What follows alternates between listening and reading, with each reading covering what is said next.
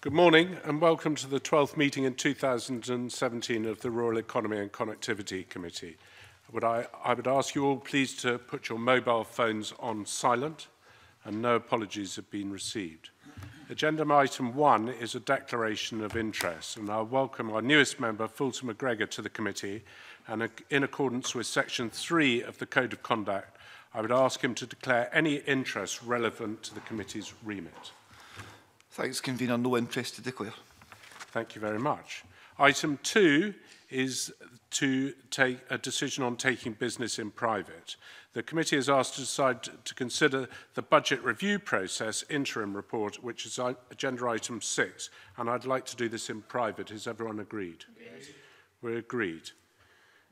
Agenda item three, we're moving now to take evidence on the implications on the outcome of the EU referendum for Scotland in relation to agriculture, forestry and fisheries.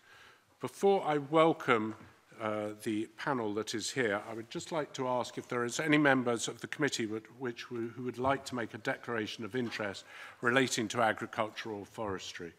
Uh, Peter. Yes, Convener, I declare a, uh, an interest in an agricultural business in the Northeast and uh, refer members to my register. Stuart. Uh, I have a very small registered agricultural holding from which I derive no income. Thank you. And I would like to declare an interest that I'm a partner in a farming business, and I refer full details of my interest in the Register of Interest. So I'd like to welcome, if I may, Fergus Ewing, the Cabinet Secretary for the Rural Economy and Connectivity, and Mike Russell, the Minister for UK Negotiations on Scotland's place in Europe. The ministers are joined by David Barnes, the Director of Agriculture and Environment, Alan Gibb, Head of the Sea Fisheries Division, and Jonathan Taylor, the Head of Secretariat and Communications at the Forestry Commission. I believe, uh, Mike Russell, you're going to start with a, an opening statement, and I would ask, if possible, that you keep it to within two minutes or as close as possible to that. That is, that's the second warning I've had from you, convener. I shall pay attention to it. Um, thank you for the invitation. We're both grateful for the, to have the opportunity to, to, discuss the UK's departure from the EU in relation specifically to agriculture, forestry and fisheries. Uh, we followed the committee's work on the impacts of Brexit, but of course events are moving very fast and you don't require me to tell you that today. As a result, then, I think most of the uh, information will come to you in questioning. If I make, make two points. Firstly, this is a crucial time. Uh, Scotland didn't vote to leave the EU, but recognising that the rest of the UK voted differently, the Scottish Government has put forward a compromise proposals in this document, Scotland's Place in Europe, with which I'm sure you are familiar. These proposals were a genuine compromise. They were designed to square the circle by addressing Scotland's interests, and particularly our interest in remaining in the single market, while enabling the UK government to respect the referendum result elsewhere in the UK. Last month, unfortunately, the UK government rejected that compromise, whilst the Scottish Parliament voted in favour of the First Minister's proposals that the people of Scotland be given a choice about their future. Uh, that means that the government, the Scottish government, is working to deliver the right to choose that the Parliament approved, but at the same time, we must, as the First Minister said, continue to stand up for Scotland's interests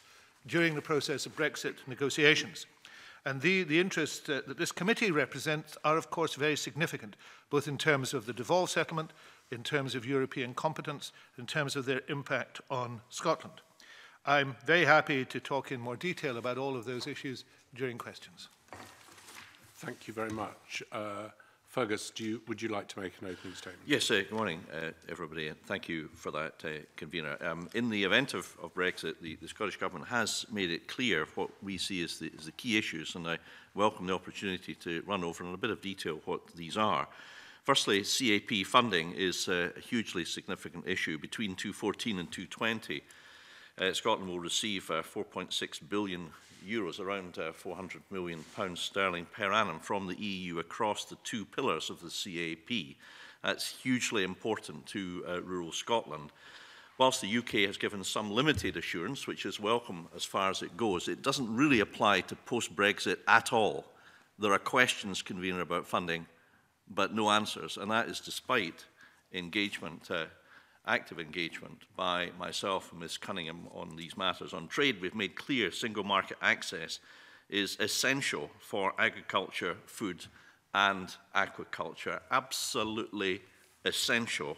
Seafood is far more important for Scotland than the rest of the UK, even although farmed salmon is the UK's second and on occasion top food export, and yet the UK government won't share their list of priority countries for trade agreements with us. Our salmon industry has made clear the importance of the single market for the future of its business, the importance of free movement of goods and of people, and they've highlighted non-tariff barriers as an area of significant concern.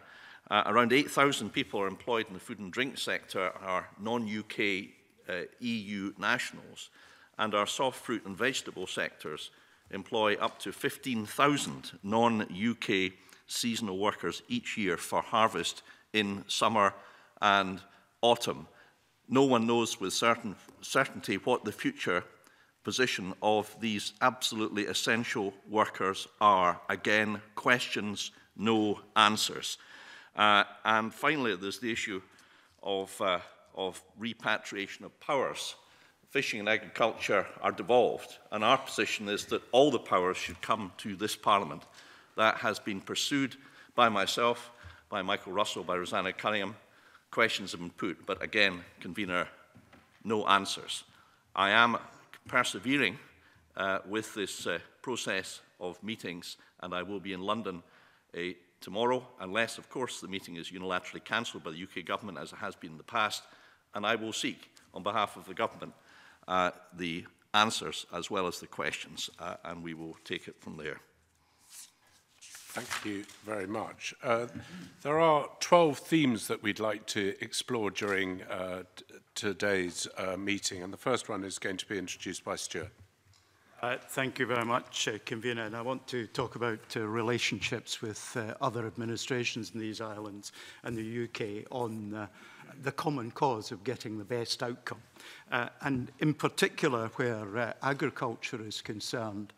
um, the uh, Minister for uh, Cabinet Secretary for Rural Economy and Connectivity referred to uh, knowing the financial support up to 2020 but not post-Brexit.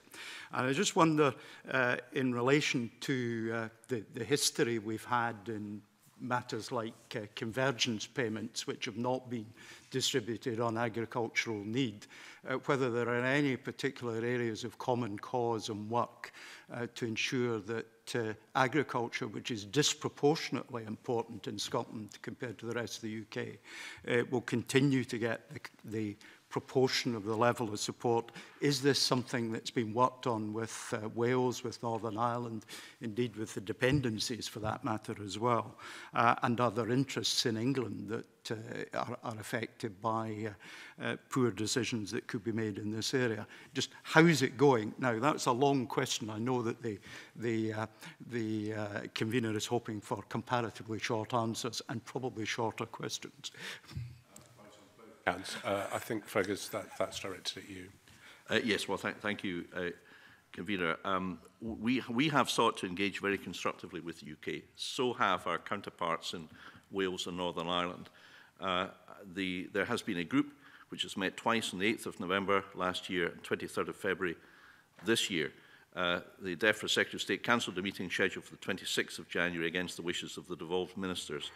Um, we have pursued these meetings positively and constructively, but sadly there has simply been no information, convener, no information whatsoever on anything. Now, that's unfortunate, uh, but that is the reality. The second question is about convergence, and perhaps just a brief explanation that the EU provided a, a fund, essentially, to assist the convergence a, a kind of moving together of the real rates of return for farmers across the, the EU. The UK only qualified for this money because of Scotland. If it had not been for Scotland, the UK would have received zero. Instead, because and only because of the fact that the rate per hectare in Scotland is way, way below the EU average, the UK was entitled to convergence funding. That funding was in the region of uh, 190 million. Pounds, uh, and my predecessor argued that because that money uh, came to the UK because of Scotland and only because of Scotland, that that money should be received for the benefit of the farmers in Scotland who receive per hectare far, far lower than our friends down south or in other parts of the UK. That, convener, sadly, is not what happened. Now, this Parliament has debated in the previous session this matter before. My predecessor sought and obtained an agreement from the UK government for a review that would be carried out into this matter. And uh, Mr Patterson, I believe, Owen Patterson, the former DEFRA Cabinet Secretary, agreed to a review. However, that review has not been carried out. That was a pledge that, you know, without being political about it, simply has not yet been fulfilled. Therefore, uh, when I accepted the, the, the when I became Cabinet Secretary, I pursued this matter by seeking a discussion with my counterpart, Andrea Ledson. I had a meeting in this very room, actually, a last autumn, and she undertook to look at the issue and revert to us thereon. Uh, we are waiting for a substantive response. Now, this is hugely important because this is £190 million, pounds, and that money should have come to Scotland. And it's not an EU issue. It's between Scotland and the UK. And therefore, I do hope that uh, all members of this Parliament will uh, agree that Scotland should receive, Scotland's farmers should receive the benefit of this funding, this specifically designed to tackle the, lower, the lowest, I think, in the EU hectareage rate of return on average. Uh, that's what the money was for. That's what it should be used for. It has not been used for that purpose. And believe you and me, that will be pursued over the coming weeks. Um, my, my other question, which is quite brief and probably it can generate quite a brief answer, uh, given that uh, Scotland uh, and the convergence issue illustrates this, gets far greater than uh, population share of support for agriculture. Um, Is there an opportunity for common cause with the other jurisdictions uh, on this issue to make sure that our share of support for agriculture is preserved broadly? Uh, or, or are there indications this isn't clear message that's neither being heard nor responded to? my Well, I mean, I'm, I'm an optimist by nature, and therefore I'm, I'm working positively to procure what Andrea Ledson promised, namely a sensible, reasoned discussion and then perhaps a solution. That, that's what I want. I'm interested in practical results, convener, uh, and that, therefore, is, uh, is what I am doing. And this is a good opportunity to report to Parliament for what I have been doing. And I do hope that all members will support our efforts in this regard. And of course, we, we also work with our, our, our colleagues in, in Wales and Northern Ireland very closely. Um, Scotland's per hectareage rate was only 45% of the EU average. England, Wales and Northern Ireland were all above the 90% threshold set by the Commission. And the purpose of the Convergence Fund was that the EU said that all countries receiving less than 90% of the EU average should close the gap by one-third by 2019. And therefore, on the face of it, convener, I've got the, the details here. I, I will undertake to write to the committee with the full details, the full facts. I won't labour the argument by going over them now. But this is a crystal clear case of money coming to Scotland where the UK government Cabinet promised Secretary, something where Cabinet, they haven't delivered it yet. Cabinet, and I do think that people should deliver their promises Cabinet in Secretary. government. Cabinet Secretary, we, we will take you up on your offer and, and, you. and I think if we can leave that there. And if I could ask just uh, on a matter of etiquette, uh, Mike had, uh, had signalled that he wanted to come in on that, and I, and I was going to take him first. So if I can just ask, if I may, if you both look at me, and, and I'll indicate which way to go, Mike. Sorry, you wanted to come I in? just wanted to make a, a point about the point that Stuart Simpson raised about working together on agricultural issues. Uh, although the JMCEN has not had the opportunity to discuss uh, agricultural issues in detail, largely because there has not been an opportunity to resolve the issue of how the agricultural issues and the frameworks might be devolved, and that has only begun to emerge now through the uh, white paper that the UK government has uh, brought forward. Um, we have identified through in Wales and with part of the previous Northern Ireland uh, executive uh, common interests in agricultural issues as being major matters which would require to be discussed during the negotiations in JMCEN. Now, those have not, that's a JMC European Negotiation Committee. Uh, that committee has been deeply unsatisfactory, but uh, the members uh, from the devolved administrations have made common cause on a range of issues, and agriculture, fisheries, forestry, and a number of others have been identified as key areas for the next phase, that is the post-Article 50 phase. Um, I think we're going to move on to the, the next theme. Rhoda, if you'd like to start us on that, please. Yes. Um, can I ask what work has been carried out to assess um, the impact of CAP, um, whether positive or negative? um, looking forward to what we might be looking at for the future. So is there any work being taken place? Um, well, we, we, we obviously uh, carry out a, a number of methods of assessing the impact of CAP across a, a variety of, of, ways. And of course, CAP provides a, a, a number of forms of payment.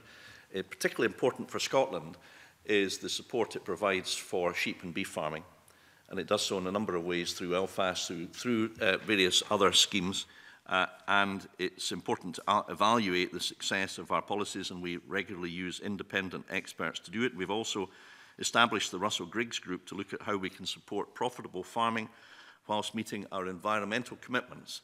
And we're all aware that farmers' primary role is to produce food for the nation, and food security, I think, is moving up the agenda, um, convener, if I may say so. But also, I think it's fair to say that farmers and crofters are the custodians of the countryside. If we didn't have hill farming, what would the land look like? I'm sure members of the committee, yourself and others, will be very well aware of the huge role that farmers play as custodians of the environment. And perhaps that's something that we, we, we don't pay sufficient heed to and we need to evaluate a bit more. Uh, so there are a number of other me methods to answer the question, such as, as auditing uh, of independent assessment. Um, but, uh, it, it, it, but I hope that the, the answer I've given is, uh, is sufficient, so I'll just leave it there. Yeah. So, just at this stage, is there anything um, coming forward from that um, that would indicate that you would maybe want to carry that forward into a Scottish support programme in the future, or indeed if there are parts of CAP that you wouldn't want to include? Uh, yes, well, we, we, we do believe very strongly that we need to continue to provide a means of supporting uh, the high quality farming for food that operates in Scotland. Uh, we are a high quality food producer and we will remain so. We will not compete at the, the lowest cost, lowest quality, nor should we. Uh, and therefore it's important that, the, that uh, whatever the future may hold, that we continue to provide support for the high quality farming in Scotland, and that includes uh, beef, sheep, uh, poultry, pig, soft fruit, potatoes across frankly, the, the realm. We need to recognise that that needs to be supported to a greater or lesser extent. I think the particular areas of support are sheep and beef farming, from hill farming. Perhaps I could just say as a point of information that, uh, as members will know, we, we have uh, announced a decision to proceed with the 80% LFAS parachute option uh, for next year, but we have also asked the UK government that for 2019 that uh, we should seek support then, because that would possibly be post-Brexit if that goes ahead, uh, in order to maintain support in principle for ELFAS.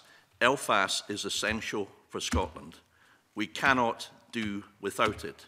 We have been asking Ms Leadsom in particular for her support in recognising that we must maintain hill farming in Scotland without ELFAS We cannot do that, and I've asked for clarification from the UK government to accept in principle that that is agreed, and I do hope that at the meeting I will have tomorrow, uh, if Ms Ledson is appearing at it, that uh, she will answer in the affirmative. Um, do, do, Peter wants to follow up. Maybe I can bring Peter and then come back to you if I may, Rhoda. Peter. Thanks, Convener. Uh, Cabinet Secretary, I mean, you've made much of the difficulty between the negotiations in this place and in Westminster, but I would like to hear what you have done in, in this, uh, up, up, in, up in, uh, in, Edinburgh, in this Parliament, to, to address the issues. You know, you know, we have had several months, 10 months now, since we, we have made a decision to come out. And I would like to think that there's been much work being done in this place to find a way forward. You know, the, we, we all recognize that there are difficulties ahead, but there are also opportunities ahead. And one of the main opportunities is to design a system more suited to Scottish agriculture than what we've had to live with with the CAP in the past. And I'm hearing nothing that's been done in this place to try and address the issues going forward. correct. There's numerous things that we've done by myself and my predecessor. For example, the vision document which set out the uh, future of Scottish farm farming was, was brought forward uh, in June last year or thereabouts. We've also appointed four champions, Henry Graham, Archie Gibson, Mary McCormick and John Kinnaird. They're working uh, very hard in important areas of education, food and drink, public value and sustainability. We've appointed the Russell Griggs Group to look forward uh, to identify ways in which we can have sustainable, profitable farming, but also respecting the environment. But let me go back to the initial premise of the question, convener. Uh, Mr. Chapman asked me, you've made much about the uh, negotiations with Westminster. There actually haven't been any negotiations. Negotiations is when you have a discussion, uh, starting off with an offer, a counter proposal, a dialogue, a commercial agreement. I've spent lot, a lot of my life in business doing that. There has been no negotiation because the UK government haven't been willing to enter into any negotiations on convergence. So I don't actually, with respect, convene. I'll just finish on no, this no, point, no, accept no, sorry, the premise the, of the question. Mr Ewing, Mr Ewing, sorry. I think, I think the question was, was trying to identify the areas, my understanding, and, and certainly the understanding of the question from Rhoda was, was what areas of the current system that you would like to keep and take forward in the future for agriculture. And I think that's what farmers and, and what this committee are looking for you uh, to give an answer on. So rather than uh, making a critique, I, I think are there some areas that you could, you could give us that we, we should be looking at as the future for farming post-2020 as far as subsidies is concerned? Well, I think Mr. Chapman asked what work we were doing, so I've just described some of the work that we're doing, the vision document, and I will share that with you, although it's in the public domain, uh, convener, if you haven't seen it. We've appointed four champions who are looking specifically at key areas, uh, and these four champions are very respected leaders and experts in uh, rural life. That's why we chose them. I think it's very important to use the experience and the uh, uh, and the, the willing assistance and aid of experts out with this place Uh, that's why Henry Graham, the national chair of Lant Lantra, Archie Gibson, the chair of the Scottish Food and Drink Federation, Mary McCormick, the buying director of Aldi's, and John Kinnear, the former president of the NFU uh, and chair of the Royal Scottish Agricultural Benevolent Institution. I mean, uh, what better way to shape future ideas and thinking and policy than to engage and involve the farming community leading rural representatives. So that's what we're doing. We also, convener, uh, held various events I've uh, held various summits on rural life, two on forestry, one on shellfish, one on procurement, one on farming and food, one on food and drink. Uh, we have also heard discussion groups, and so has Rosanna Cunning, with NGOs and with representatives of the farming and rural uh, uh, uh, communities in Scotland. Uh, and therefore, we have been involved in a huge amount of work. We're also, and Mr Rumbles, I expect, will raise this, have agreed to Parliament that we should uh, form a, a group of experts, and we're close to coming to a decision on that uh, in the next uh, few weeks. Um, but there is a, se a, a final point I'd make, and that is this, that if you're running a business uh, convener, as you have done, as I have done, you need a budget.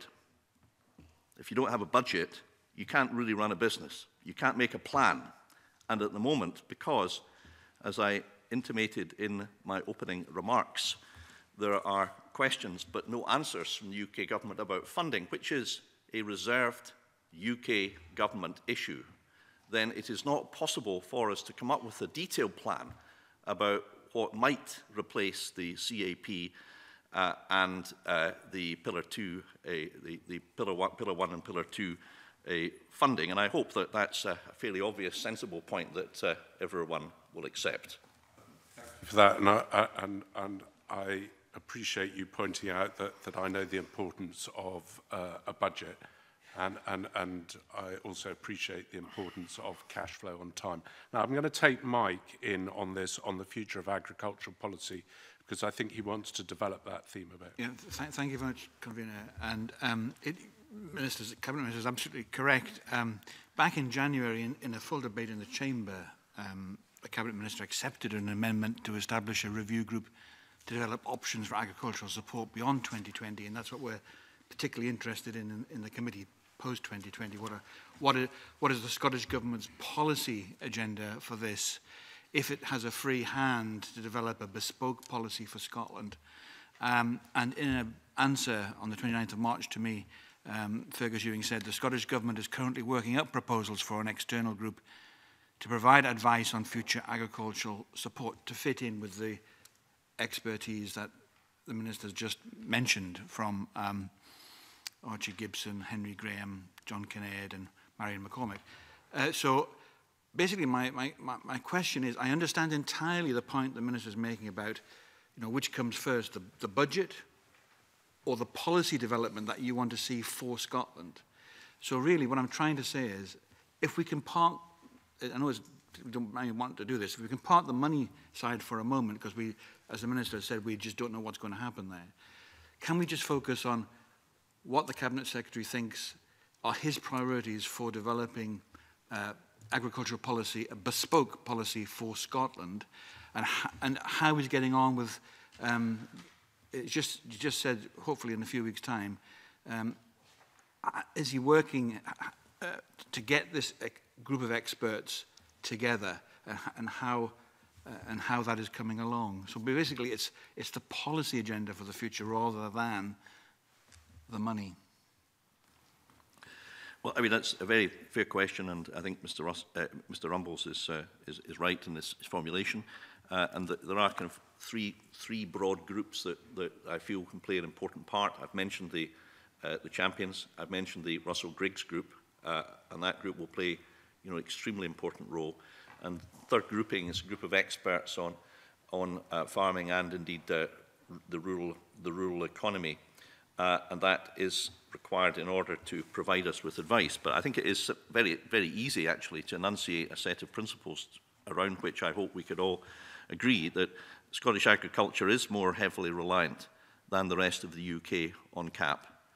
Uh, I think by the extent of 100%, in other words, it's twice as important to, to put it very simply, than for the UK pro rata. That funding is hugely important.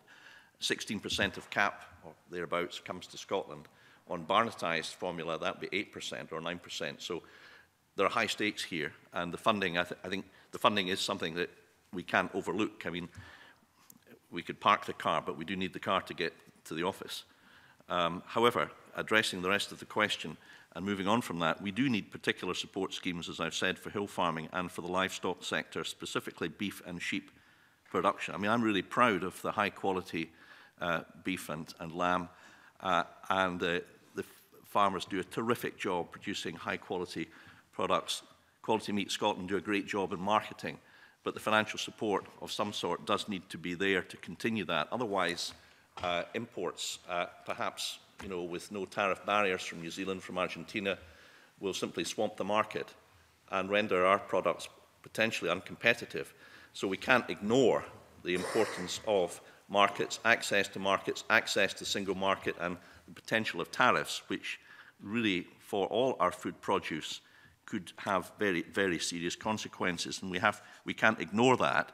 Uh, uh, we uh, also recognise that CAP funding is vital for the Scottish forestry sector, especially the grants for new woodland creation, but also woodland management and research, uh, an area where we work closely with the, with the UK, for example.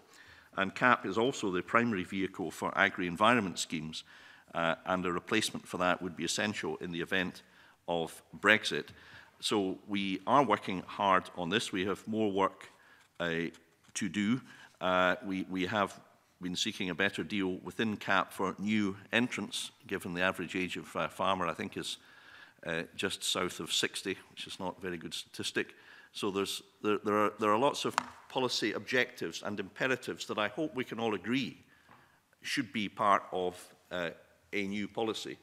Uh, but to formulate precise policy, I think, does require more detail on money, on markets, on labour. And sadly, we don't have that at the moment. The last thing I'd say, and this is important, I entirely agree with Commissioner Hogan that the current CAP scheme has um, a, a penalty regime which often, sadly, results in, in uh, very serious consequences for farmers and crofters for relatively minor clerical or inadvertent errors in the completion of the agricultural forms.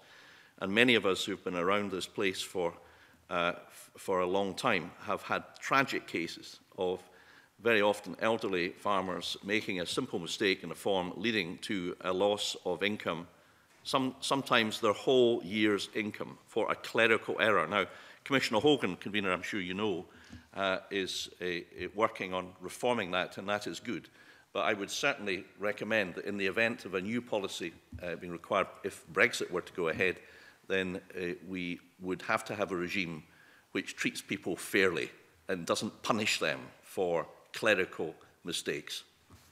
Okay, uh, I want to bring in Mike Russell, if I may, and then I'll come back to you, Mike, and then Peter, and then back to Rhoda, if I may. So, Mike, I just Mike. wanted to make one point, convener, about the context of this.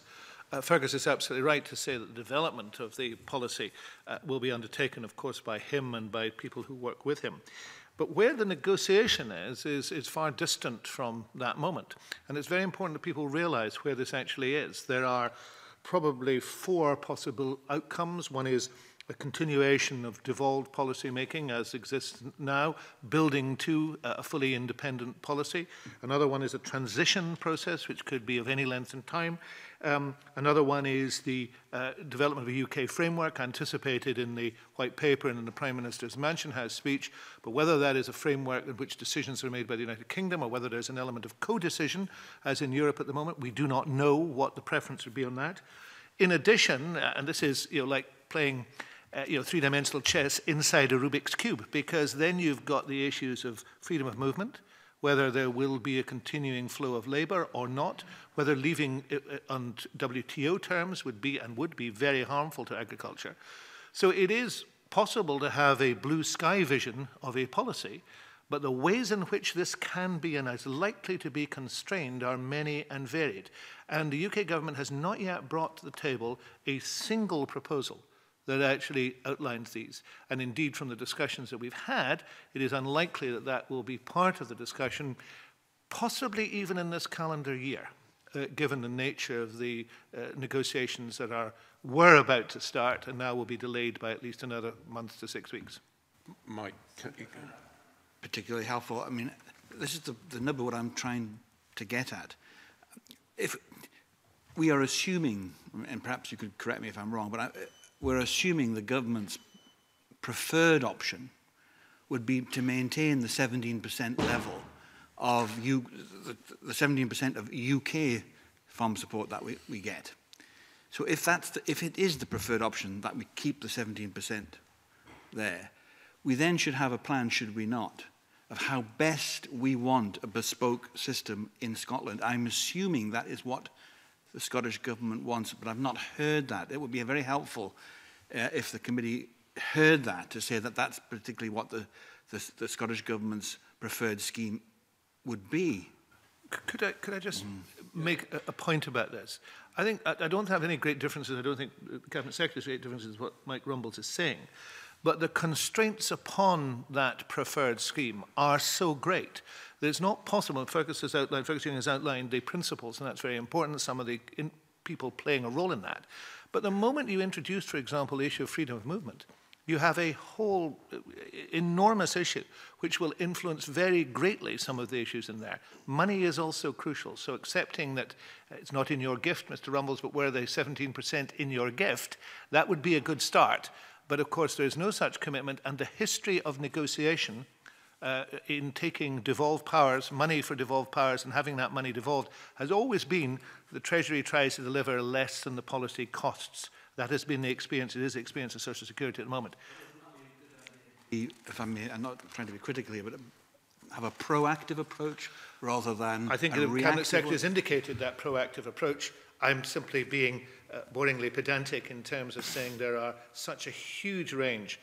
of qualifications that that has to be borne in mind as well.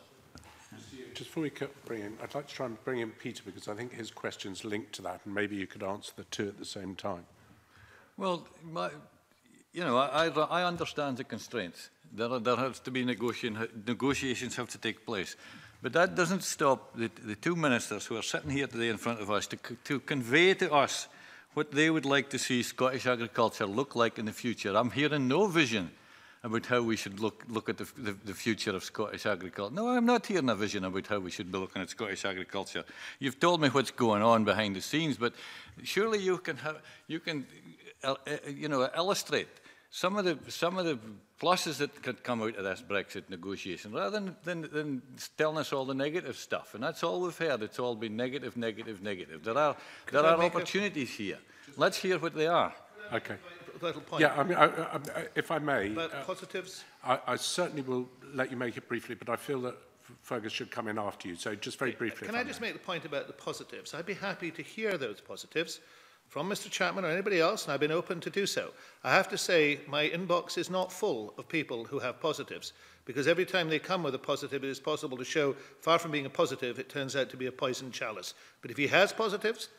I'm happy to hear them. Okay. Fergus, would you like to come back on, on both those? Uh, well, I'll, I'll certainly try, try to do so. Um, firstly, uh, Mr. Chapman's um, point, I don't think it was a question really, but I think I have outlined that I passionately believe that Scottish farming produces high quality food and also uh, that our farmers and our crofters are those who have shaped and sculpted the landscape for generations. And that allows us to be attractive as a country for visitors. It allows us to have some of the most beautiful scenery in the world. It hasn't happened by accident. It's because of the work they do. That should continue. That is, I think, a vision that I have it's to use our natural assets to their best advantage, protecting the crown jewels and having a thriving, vibrant rural economy. That, I think, is a vision. It is to me, at any rate. It's for others to judge whether that vision is one that Scotland should follow. Regarding Mr Rumble's point, um, I, I take the view that if the UK government were to confirm the, the funding that comes to Scotland, that has come to Scotland, that I outlined in my opening statement of 4.6 billion euros over 14 to 20 were to be matched and replicated for the further period of, say, five years. That would allow us then to have some serious planning and discussion. In other words, my challenge to you and my request and my, my ask tomorrow to the UK government will please confirm that you will at least match the funding from Europe. After all, that's what Andrea Leadsom and George Eustace said prior to the Brexit vote. And in fact, and uh, you know, I've got respect for, for, for the work Mr. Eustace has, has, done in some areas and I get on perfectly well with him on a personal basis and with Ms. Leadsom. But he did say uh, that the funding will be at, uh, uh, at least matched. And then he added, without a shadow of a doubt. Now, all I'm asking, convener, is that the UK government do after Brexit what they promised to do before the Brexit vote. sure they'll hear your message loud and clear tomorrow. I'd like to, uh, and, and probably listening to this committee, Rhoda, if you'd like to come in on that. I think there's two issues, and uh, both have gone into the issues about negotiations with the UK government, but I think we're keen to see what the Scottish government are doing going forward. Um, and you have outline some of that. I think my concern is that how, you know, there's um, experts and specialists all being set up. What about, I mean, we all know that farming and crofting involves very small businesses, people who don't engage with conferences and the like. How is the Scottish Government going out to them and learning from them what they require from a scheme going forward?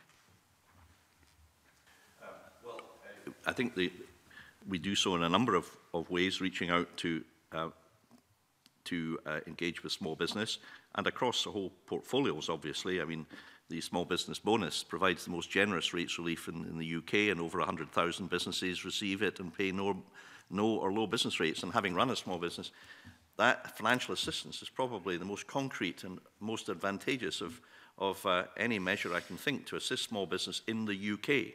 But on specifically in relation to rural economy, we We haven't touched on the digital process, but we, we are, even although digital uh, under Chapter C of Schedule 5 of the Scotland Act is plainly a reserve function, we couldn't hang around for the UK government to invest, so we came up with a £400 million pound two contracts in order to invest in broadband to help sorry, small businesses. Sorry, Mr Ying, sorry. Uh, yes. I, I don't mean to be difficult, but there are a lot of themes that we want to develop, and, and broadband wasn't specifically recognised, and, and, and, and people realise that the government has made a commitment to broadband and, and I'm sure appreciative when it's delivered. So if I could ask you to stick specifically to that, and I, I know your colleague might wants to come in on the back of what you're saying, so perhaps if you could just tighten the answer and then I'll come to Mike.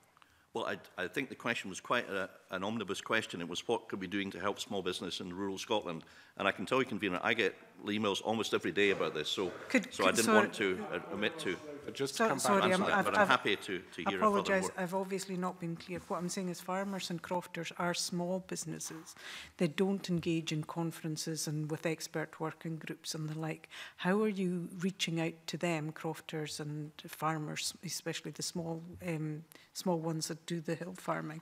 How are you reaching out to them to get them involved in for, formulating the policy for, for intervention going forward? Okay, again, by a, a variety of ways, and working with MPs and MSPs who are reaching out to, to them all and, uh, and then engaging with, with myself. Uh, I mean, I met Mr. Carson yesterday about a fishing interest, for example. So we are, we do work uh, to some extent as a, as a team, I suppose. But to answer the question specifically, uh, let me just give you some specific examples of what, how I have reached out to the smaller crofter farmer. I attended, as uh, did Mr Russell, I think, on different days, in Applecross, the Scottish Crofting Federation annual conference, and a, a very good event it was too. I think there was a Q&A session that lasted for about an hour, uh, and uh, it was very positive. Um, I think three weeks ago, I uh, attended a hill farming summit with my colleague Eileen Campbell in Lanark. Almost all of the attendees were um, small farmers individual uh, hill farmers, almost all, and also some in the supply business of fertilizer, contracting, fencing. Uh, in later, uh, in, in a month or so, I shall be holding a second hill farming summit in Dingwall uh, uh, after the lambing season is over, and will be engaging with them. Um, also, it's important that I should credit the, the role of the local ARPID offices throughout the country. 17, I think, in, in total, if Mr. Barnes will correct me if I'm wrong, uh, who are day and daily engaging, communicating with farmers and crofters. Much of that is fed back, convener, to me because I'm in regular contact with the local offices and indeed I visited over half of them. So, you know, I think Ms, Ms Grant has raised a very important point and, and indeed if there are other ways in which she or members think that the government should reach out and work with the you know, the, the small business unit in the farming and crofting world as a result of this meeting, I would gladly consider any such recommendation. Thank you. And um, Mike, can I ask you to come in briefly? I'd just remind everyone that so far we've dealt with three themes uh, and we're 45 minutes into the session. We, we've got another uh, eight to go. So uh, brief answers, brief questions would be appreciated so we can get through all the business. Mike. Um, point out in relation to that question, one of the roles I have is to work with my colleagues to meet with range of people right across Scotland. I take it very seriously. I accompanied Fergus to a number of those meetings. I've also held events and meetings myself. I also take it very seriously within my own constituency. I, I, I tend to take the Miss, the Miss Marple approach, uh, that if you know what's happening in your own patch, then you can understand things more widely. As a result of which, I've had, held regular meetings. Indeed, Fergus has been with me on ILA. Uh, uh, at the meeting. Um, I've held meetings right across Argyll and Butte to understand what is happening there and what people want, and in addition, what also people might want from a new system of agricultural support, which tends out to look rather like the existing system of agricultural support, I have to say, but there we are. I'm going to move on to the next theme, uh, John, to you. Um, and morning panel. Um, the, It's been briefly touched on by the Cabinet Secretary, and this theme's about regulation and standards, and I'll maybe just roll a number of questions into one there, please. Uh, are crofting and farmers are sub subject to EU e legislation and regulation, and indeed some international regulation, uh, uh, and there's differing views on um, the significance of that legislation. Um, it wouldn't surprise anyone that I would align myself with Mr Ritchie of Scottish Environment Link when he says better regulation drives efficiency. We do not believe that regulation equals red tape, quite the contrary. But um, Cabinet Secretary, you touched on earlier a, a more humane regime um, of regulation. Can you outline how that would dovetail with maintaining the high standards that I presume that uh, we would all want to see in the agriculture and food sector? And how it would be used to monitor and enforce standards to demonstrate to the market the high quality products uh, that Scotland produces. Uh, yes, thank you. I, I think Mr Finney set, sets out the, the case uh, very well that, that high standards do remain vital if we are to compete in home and international markets. And one of the things that I found from engagement uh, with the uh, leading figures in the farming community was just how important these high standards are as a, a means of continuing to rely on access to markets. For example, um, producers, uh, the provenance of our seed potatoes uh, is dependent upon compliance with regulations of a very high standard to counteract the risk of disease, for example. And therefore, only by meeting those high EU standards are our seed potatoes able to access markets firth of the EU In other words, compliance with standards is a sort of entry card to markets, and it's also a barrier. If you don't have them, you're barred from markets. Um, and therefore, you know, appropriate regulation is not, shouldn't be seen as a foe, but a friend, an enabler. And indeed, were we to go down the route of, of uh, you know, some ultra-Brexiteers that get rid of all the red tape, then there wouldn't be many friends in the farming world who rely on high mark equally with our, our quality beef and sheep and our regulation of our abattoirs. I mean, the, these are very, very high standards, and rightly so. And were we to depart from that in a sort of free market uh, way, then I think that the, the, the, the, the commercial results would be devastatingly bad. And high standards do need regulatory frameworks, animal health and welfare, as Mr. Finney well knows. Uh, as, as well as um, protection uh, against uh, disease. And we don't have to think back too far to, uh, to remember uh, the ravages caused to communities, individuals, as well as economic cost by foot and mouth. Um, so um, so the, the best outcome would be to continue to remain a member of the EU. Uh, and were that to be the case, then these high standards would be uh, would be a, a given. yes, um, I, I, accept your, your final comment. Indeed, it would be my and my, indeed my party's position. But um, were the UK to come out of the EU, do I understand you to say that to continue training we would need to maintain these standards, indeed others as well, Cabinet Secretary? So th there is a view that this provides an opportunity to burn a lot of uh, regulatory um, information and we move on to a bright new future. That's not how you see it? Well, I think there's an opportunity to get rid of, of some of the kind of what's often termed and described by farmers as gold plating. In other words, an, an overzealous interpretation of the rules. And that's one of the reasons why Professor Griggs is looking with a group which includes farmers and NGOs and, and a, a wide variety of experts on, on this important issue so that we get a Scottish approach that ensures profitability but also environmental sustainability ask in relation to that then, if, if it's a prerequisite to trade with the EU, has there been any discussions or will there be any contact between Professor Briggs and the EU on the, the work stream they're undertaking? Yes, they, they, there, there will be. And it's also one of the questions that I asked but have not yet sustained an obtained an answer from Ms Lessam was if the event of Brexit, the, the UK would be a, a foreign country to the EU, a third country.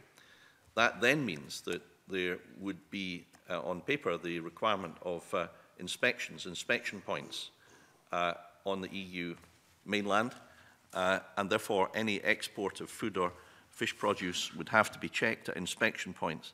Quite how many points there would have to be, who would pay for them, who would run them, what delay, what costs would arise to exporters. These are all questions that we've asked, but sadly, we have not had answers from the UK government, and these are all regulatory matters too to comment the on issue that. of regulation is, a, is, a, is, a, is a concerning one because the assumption made that there are a vast number of regulations that can simply be abandoned is an unsafe assumption. Largely because safety drives many of the regulatory regimes. But there's another issue in here which needs to be understood. A, it, there, are, there will essentially be, you know, in many things, two big blocks of regulation, U, U, US and EU. And if you're not in either of those, then for many global manufacturers and for many global traders, you go down the pecking order because they're not going to spend a lot of time and effort trying to please you know, a much smaller regulatory system until they have already pleased the two big regulatory systems. So far from it being something that frees up uh, to allow people to, to be more active, sometimes, for example, in pharmaceuticals, the opposite will be the case, that the priority of your market will decline if you're not in either of those blocks. So that is a, actually a big worry for many people. And uh, Fergus is absolutely right in terms of trading. If you cannot meet the requirements laid down, for example, by the EU, you will not be able to trade within that block. So there are huge difficulties in simply saying, let's get rid, let's have a bonfire of regulation. That which is safety-based is there for a purpose. That which is there for other reasons and is part of the block. If you don't observe it, you don't get in. Thank you. If we can move on to the, the next theme, which is Gail is going to introduce.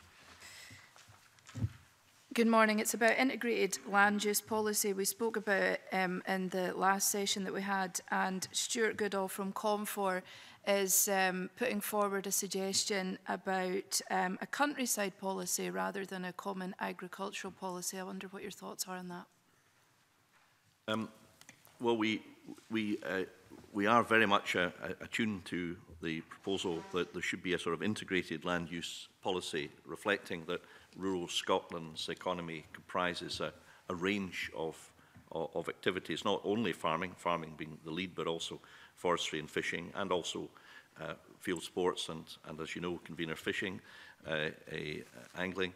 So it, covers a, it encompasses a comprehensive range, and we did publish a land use strategy in 2011, The latest version of our strategy does cover a period from 16 to 21 and aims to encourage a, an integrated approach uh, to land use. Um, and uh, I, I, I think that there is a desire among stakeholders to, to build on this work. For example, one practical um, uh, piece of work that we are doing at the moment is to encourage uh, uh, more work between farming and forestry, sheep and trees, project, and I'm um, due to meet the NSA to discuss this further. Uh, and whereas in the past, I think perhaps there has been a view among some hill farmers that forestry is seen as, uh, as a bit of a challenge, something that's seen as, as a, a competition, that increasingly, rather than an either-or approach, um, the two are seen as, as, uh, uh, uh, as uh, cumulative, that you know, a large hill farm could sustain a, a, a plantation on part of, of the land. And indeed, the Forestry Commission are doing excellent work to encourage some farmers to think about plantation. So an integrated approach is very sensible. It's been part of the approach the Scottish Government has taken for many years. Uh, and uh, we have, uh, uh, I will actually be meeting with CONFOR this evening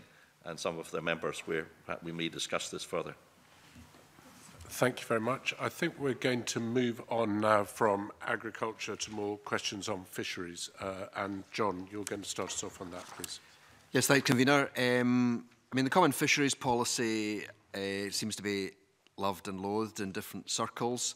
Um, we've had it suggested by some people that there's nothing good in the common fisheries policy and it should just be uh, walked away from.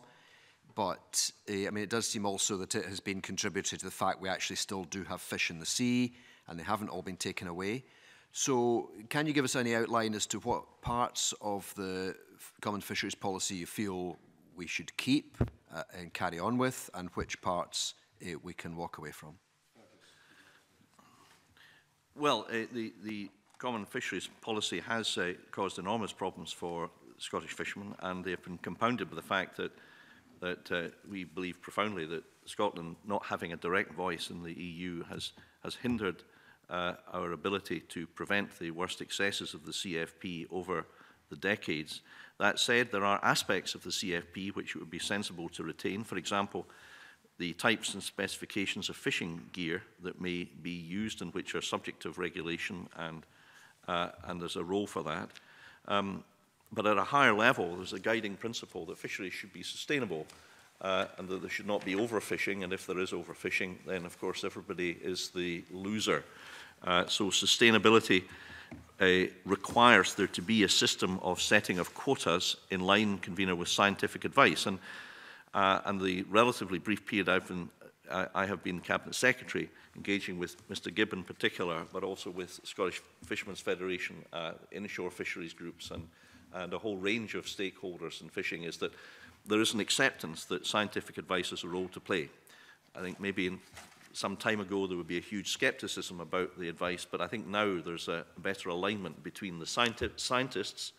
and the fishermen and a realization that they need to work together. So, so I think there are some things that we would wish to retain.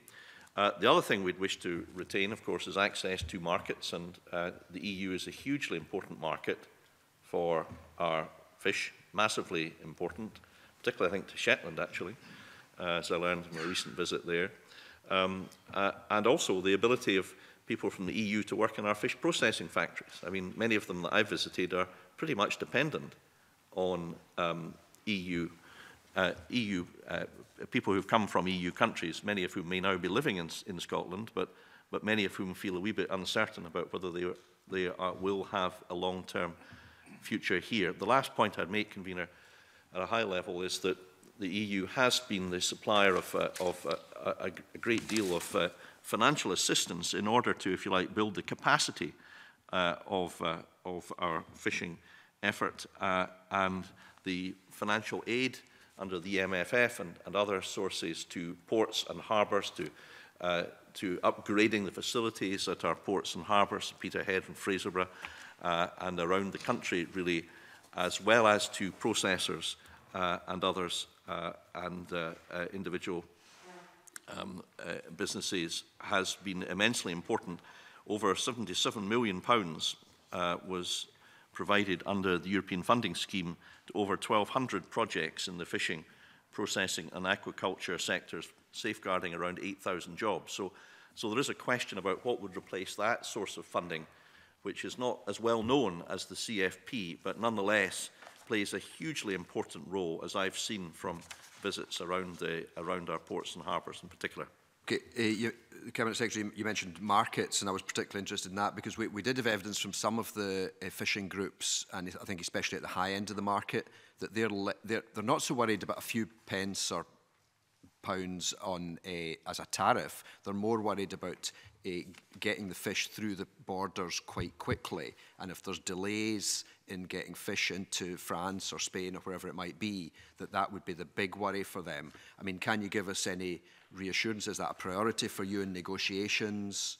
Well, um, something I'll be raising tomorrow at my meeting with Mr Eustace. And, and just to give you an idea of the figures, I mean, the seafood exports are worth 601 million and account for 78% of seafood exports in, in 16. Uh, uh, and uh, uh the EU market, the single market, access to that market is hugely important, and whether to be delays at inspection points or whatever they may be called, then particularly for uh, you know uh, uh, uh, fish, uh, the any time period to delay would be uh, a, a big disadvantage and a serious place in jeopardy continued access to those markets simply on practical grounds.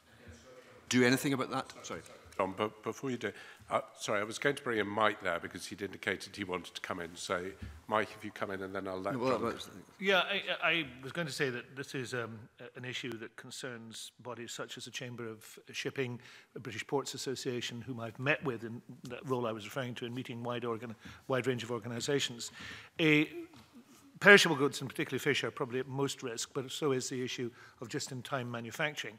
I have to say at the present moment there is no clarity about how that system will be dealt with in terms of tariffs. We have, of course, ta no tariff barriers at the moment. The moment you put tariffs in of any description, then you require inspection of or declaration of goods. If that takes place, then there are issues in terms of delay. There are issues also in terms of uh, piling up lorries. Uh, uh, you're familiar with the, the, the images of the um, motorway in Kent with lorries all the way down it. That is because there is no sizable marshalling area now in any of the major ports that can deal with uh, uh tariff goods in that way. So there are considerable issues to be addressed and not much time to address them. This is one of the big issues for transition. It would not be possible to put in that type of system after two years. You would require five to ten years to be able to develop that system. John, do you want to come back?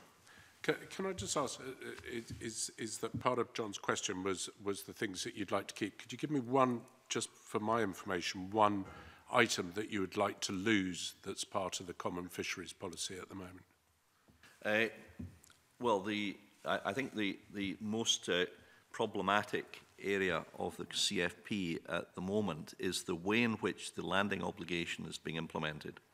And uh, obviously the, uh, the purpose is to prevent discards, to prevent throwing fish over the side of, of uh, boats, and that's a repellent practice, and everybody agreed that it should come to an end. But in order to deliver a practicable result, uh, there has to be a system that does not result in um, fishing vessels having to be tied up in February. I mean, you wouldn't expect Marks and Spencers to shut in February a year, would you, and then remain shut for the rest of the year? So the, this matter, I, th I think, is an area where uh, I felt a greater flexibility is required and is the subject of ongoing discussion in the EU Commission. And I think uh, I uh, was in attendance at the EU Commission discussions in November and then, of course, with Mr Gibbon, the December negotiations. Uh, and I think we achieved a remarkable outcome in those negotiations, uh, uh, not least because of the expertise and experience of Mr Gibbon's colleagues and the respect with which they're held in their peers in Europe.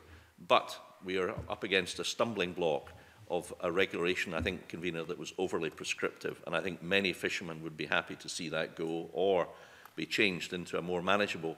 But it, it's a problem that has to be dealt with, though, because nobody wants to see a, re a recurrence of the practices we've seen in the past of dumping uh, uh, good uh, fish over, over the side uh, being entirely wasted. Uh, so, uh, so it's not an easy problem, but I think there needs to be far more flexibility in, it, in finding a, a solution to it. Uh, Peter, you've got a... Just on that very point, would it be worth considering that changing from a quota system to a days at sea system to regulate the fishing, uh, eh, you know, the, the, the amount of fish taken, go down a different route entirely? Uh, well, I, I, I think that some system of ensuring that fishing stocks are, are uh, not overfished and exhausted is the principal key. I mean, I, I'm no expert in how that's achieved. There are different schools and different um, strategies that can be pursued. I don't know if Mr. Gibb would be able to provide, since he's here and he knows far more about these things than me. I'm sure he could give uh, a more rounded answer if he has the opportunity, convener. Five minutes. Uh, yeah, very short. Thank you. Um, yes, uh, it's it's it's quite popular in the press at the moment, the days at sea option. It, it's an option. Uh, there are other options such as credits for the type of fish and extra credits if you catch a cetacean and as a, as a bycatch. Um, what I would just emphasise is that they're very complicated. Um, in the mixed fishes of the North Sea, for example, um, you have to look at your weakest stock if you're uh, going to follow your international responsibilities around sustainability. Um, you can't just go out and have an unlimited fishing, unlimited number of days or a fixed number of days because you have to understand the mixture of your catch and, and avoidance techniques. So a days at sea only solution is unlikely to, to fit the mixed fisheries that we have in the North Sea and the west of Scotland. Okay, thank you. Um, the, the next area we'd like to look at, Stuart's going to lead us on. Uh, thank you very much, Convener. I want to uh, uh, talk about two issues related to uh, the exclusive economic uh, uh, zone uh, access uh, for uh, our vessels to the waters to 200 miles and indeed enforcement of uh, our rights in these waters. Committee has heard uh, both at the uh, SPICE breakfast meeting and in our own deliberations uh, that we have the right to arrogate to ourselves uh, uh, the waters out to 200 miles, although we might choose not to do so. Uh, interestingly, it's not a, a new issue, and I actually discovered um, old SNP policy papers from 1974, uh, which talk about the issue. Uh, the bottom line is, uh, does the... Uh, does the cabinet, either cabinet secretary or minister, are they able to tell us whether, uh, in the light of what the UK uh, has said in its white paper, where it's in mutually beneficial uh, result for fishermen in the EU and the UK. What they understand from that? Have there been any indications of what they understand from that? Uh, and how does that support the SFF's position, which I support, uh, that we must first have exclusive control before negotiating how we uh, use that exclusive control? the, significantly, the Prime Minister's Lancaster House speech and the White Paper both referred to fisheries uh, uh, only in these terms and only in terms of essentially trading away access to waters. Now, this is, I think, for many eerily familiar of what took place in the 1970s during accession. And certainly, I have heard nothing different from that in the negotiation discussion to date. Uh, fisheries has been referred to in the JMC process not as a specific subject but as an illustration of subjects that will require to be dealt with in the detail of the European negotiations, but on the basis of recognizing, for example, historic rights that exist elsewhere, and uh, that was also subject of some media coverage yesterday. So if I were um, a member of the SFF, I would not be confident that the UK government has, is either listening to or has heard the points that have been made. To come back on that. Yes, just, just briefly, um, Mr Stevenson has raised this matter before here and in the Chamber of Parliament, and uh, I have um, raised this question uh, on several occasions, both with George Eustace and with Andrea Leadsom, and the specific question I have asked is for a guarantee that the UK government will not bargain away Scotland's fishing interests in its Brexit negotiations. I have received no answer to that question. The second part of my, my question, because I think that's quite clear where we stand, if not where others stand, um, is enforcement and working on the basis that we uh, have uh, responsibility for how fishing is conducted out to the 200 mile limit. What challenges are there uh, in getting that new responsibility that we might have to uh, respond to. I think uh, questions about enforcement involve technical aspects. I'd be very grateful if Mr Gibb would be able to uh, assist the committee. Yeah, thank you. Um, we currently, under the devolved fisheries management arrangements, already um, monitor the Scottish fishing zone out to 200 miles. So our Um, Marine Scotland patrol vessels and Marine Scotland uh, patrol aircraft uh, are already very active, monitoring not only Scottish and UK vessels, but um, 11 non-Scottish nationalities that fish in the Scottish zone uh, currently. So uh, we're, well, we're well versed in that. Um, the enforcement burden will increase um, because you would need to make sure that people who had access to our waters um, had that access legitimately negotiated. So there would be an increased burden of that. I think there is no doubt. I think it would be also fair to say that we would be relying on um, vessel monitoring satellite systems and electronic logbooks, which are actually two additional elements of the current CFP that we would probably look to keep very technical, um, but that allows for um, collective and remote monitoring um, of activity in your waters and um, in other member states' waters as well. Thank you. Uh, John, you've now got some, some questions on a slightly different area. Christina. Yeah, it's eh, eh, on the, eh, the, the this theme is about ecosystems approach to fisheries management, uh, and, and uh, and in part it's been touched on, I think, by yourself, Cabinet Secretary. We, we, just as there's been calls for a, an integrated rural or county, countryside policy, there's uh, we heard from in a previous meeting from Callum Duncan of the Marine Conservation Society, uh, calling for effectively the retention of a regionalised ecosystem approach to the management of fisheries. Uh, and that um, there's a lot of background to it. I'll be briefly, and, you know, that includes the protection of crucial fish habitats, for example, breeding and spawning grounds. Eh, how do you respond to calls for a sustainable ecosystem-based approach, linking fisheries to marine protection areas and special areas of conservation?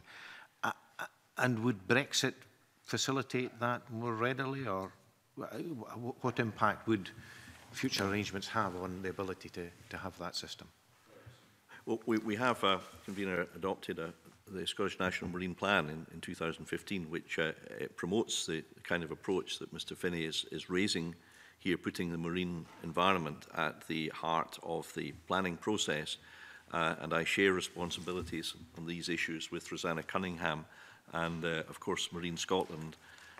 uh, are to the fore in taking this, this work forward. So a sustainable ecosystem-based approach uh, to fisheries management should be taken in accordance with these principles. And I think, convener, also it's seen as an asset by you know many of sectors of our fishing, for example, shellfish is sectors reliant on the image that we have and the reality that we have a clean marine environment from which our high quality shellfish products uh, enjoy a provenance and uh, a, recept a receptability in the in the marketplace. So, so we are taking this approach at the moment. The second question was um, you know, how would Brexit allow improvements in this area? Um, I think the only difference Brexit would make is to change the process for offshore fisheries measures from an EU member state negotiation process to a national legislative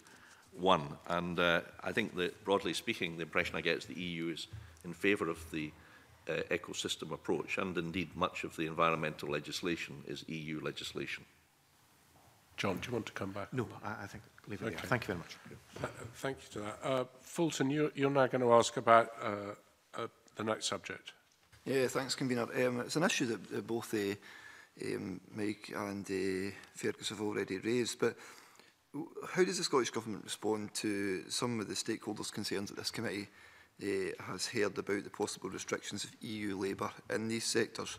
And what, what, what would be the Scottish Government's response to deal with this.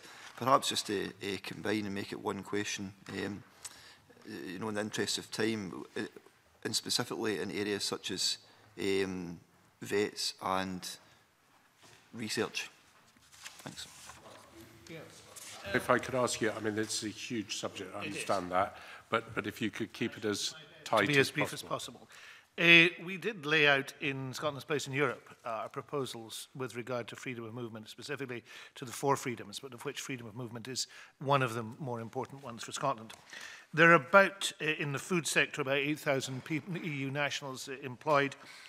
uh, in about 15,000 in the non-seasonal market. There's a big dependency upon, in agriculture on uh, labour from the EU, 60% of the workforce in the abattoir sector comes uh, from outside Scotland, largely from EU nationals. So there will be big pressures on the labour force, and there is no obvious place from where these uh, people can come to be replaced. Now, that's also a pressure in the uh, tourism sector, in the finance sector, in the innovation sector. 25% of staff in EU in research, for example, come from other EU countries. So we are very dependent upon Labour coming into Scotland. Uh, we have essentially no information from the UK government about what, how they would replace the present system. Rather interestingly, some of the press speculation the weekend about what was called the barista visas, that is, giving young people a visa for two years, which was raised by, I think, the Home Secretary, uh, which would not give uh, young people any rights in terms of uh, continued residence or in terms of support from the state, but would allow young people to work here for a couple of years, may be one of the solutions. And that's rather interesting, because what it tells you is there is a problem in leaving the EU, and a sticking plaster solutions will be required to solve some of those problems. Now, in Scotland, you won't be able to use a sticking plaster solution for agricultural labour and for agricultural work. If you put in place a sectoral approach, which has existed before, you will have very considerable difficulties in administering that. For example, I think this committee has heard from Angus growers about the difficulties that existed in terms of soft fruit. and the fact that the solution there may be not to, uh, uh, uh, to, to, uh, to do anything about labor coming from Romania and Bulgaria, but actually to move the bushes to Romania and Bulgaria and to move the entire industry out of Scotland. So the reality of this is this will be a very considerable pressure right across the Scottish economy, particularly in a rural economy, and presently there are no proposals to solve it. Uh, and they are, it is at various levels. The issue you make of vets is very interesting. The professional level of this will probably be the hardest part to solve uh, because there, is, there will perhaps be some alternatives, a small number of alternatives for uh, some labour. There won't be any for professional services. And indeed in the health service, you know, many doctors and nurses are very, very fed up with essentially being treated as bargaining counters and are already leaving. Number of nurses coming in is dropping quite dramatically. So this is a problem which we look to the UK government to say, how are you going to bring forward a solution for migration? There is presently no uh, policy options presented, as a result of which there is no solution, and we are two years away from leaving. It's another area where there will also have to be some transitional arrangements, which of course is very difficult for those people who believe very strongly in Brexit, because Brexit is about controlling um, access And if you are not going to do that, some might argue, what's the point? a very full answer, Cabinet Secretary. Unless there's anything specific you want to add, I, I'd quite like to move on to the next theme, if I may. uh, a few points that there's around uh, 181,000 non-UK nationals living in Scotland, and rural Scotland is particularly vulnerable to the loss of, of any of, uh, of these people who have chosen to come to Scotland, uh, and in particular our leading agri-food and environment research institutes in Scotland uh, have attracted talent from many EU countries. So any threat to that would be a very serious one to the continuing success, the research excellence of our institutes.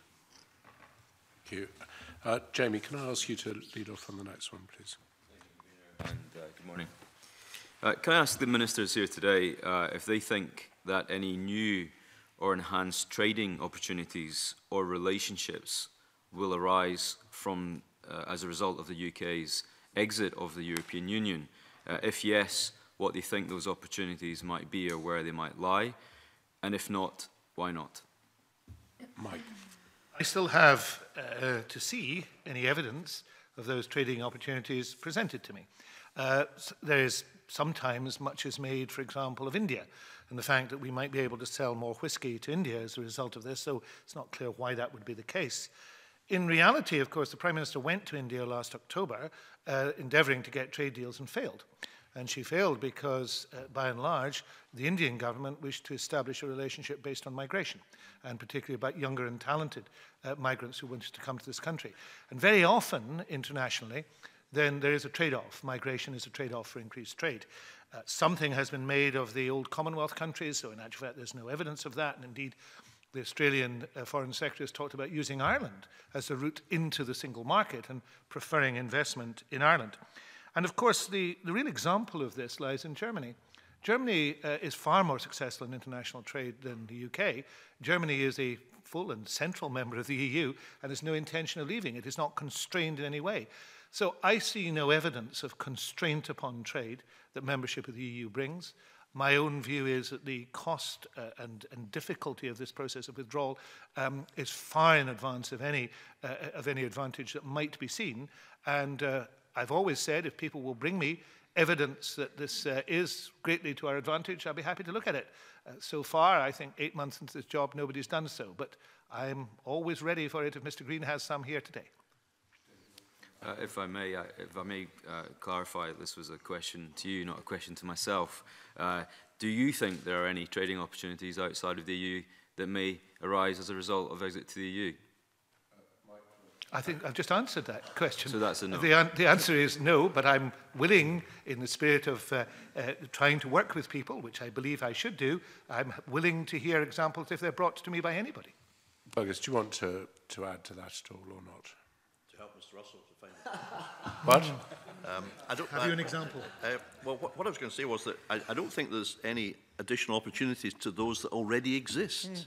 I mean, there already are uh, huge efforts by entrepreneurial people in our, our food and, and fish sectors to export throughout the world. And indeed, uh, they are well helped by bodies such as Scottish Development International, who have engaged the, the services of, of, of uh, a number of individuals to assist the further exports. But the EU and membership of the EU is not uh, an impediment to accessing that additional trade.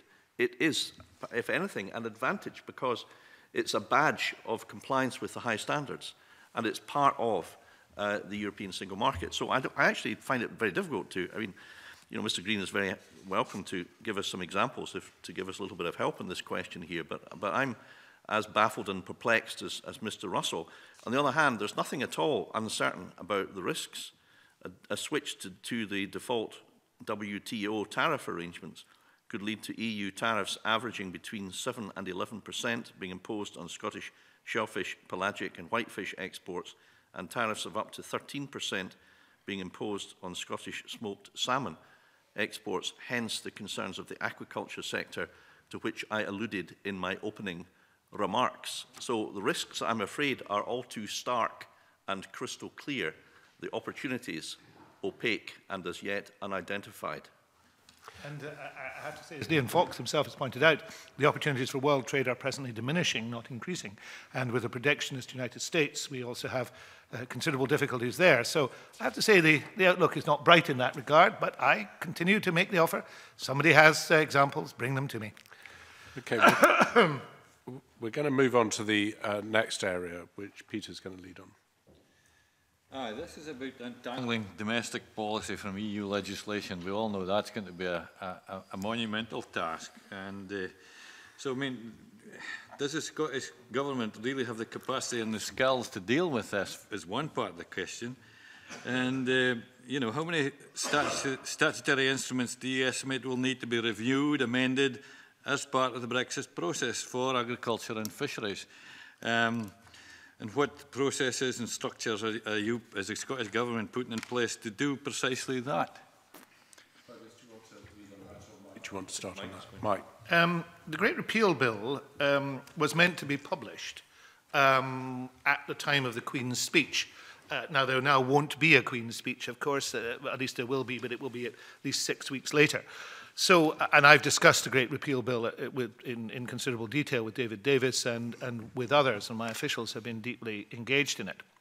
Uh, there are a number of questions raised by the Great Repeal Bill, and I will answer uh, Mr. Chapman's question, but let me just put it in context. There are a number of issues raised by the Great Repeal Bill.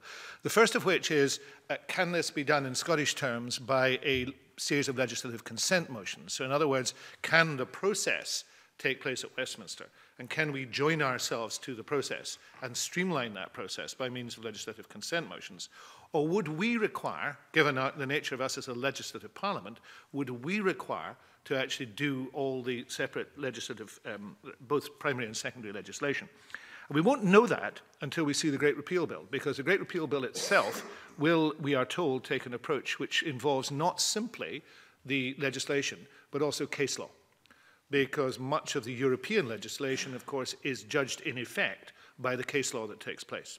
So we have to see what is proposed in the Great Repeal Bill before we can answer the question of whether we bring forward legislation or whether we are able to, by a uh, series, because the Great Repeal Bill is the first of several bills, possibly 10 or 12 bills, or whether we ourselves will have to bring forward legislation in order to, to cope with the, the change.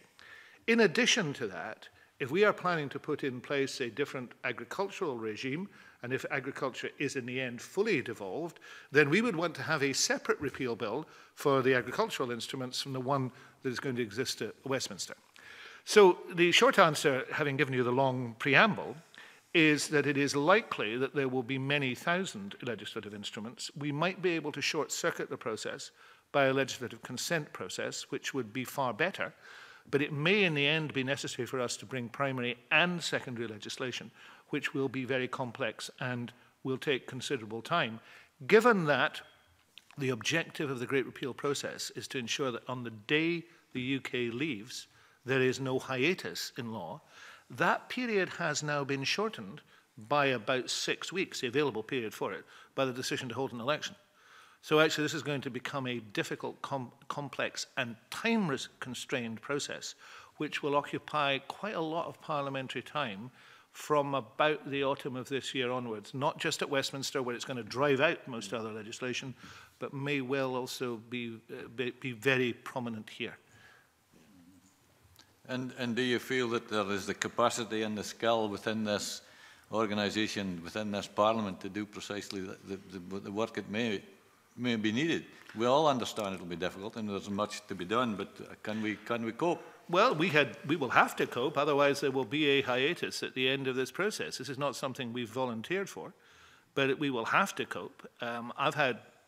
good discussions with the Faculty of Advocates, with the Law Society, uh, with a range of others. The Lord Advocate, of course, is deeply involved, the Scottish Government Legal Services. But I don't think anybody will underestimate this. And the key information on this we do not yet have. because that key information is, and we don't, to be fair, we don't know if the UK government has it, because it is such a complex task. There was a trawl of information uh, that took place from last October, really onwards, looking for what would have to be done. And we played our part in that trawl, and we have a very considerable amount of data as a result of that trawl. But the way in which Westminster chooses to legislate first to kick this process off will determine what else follows.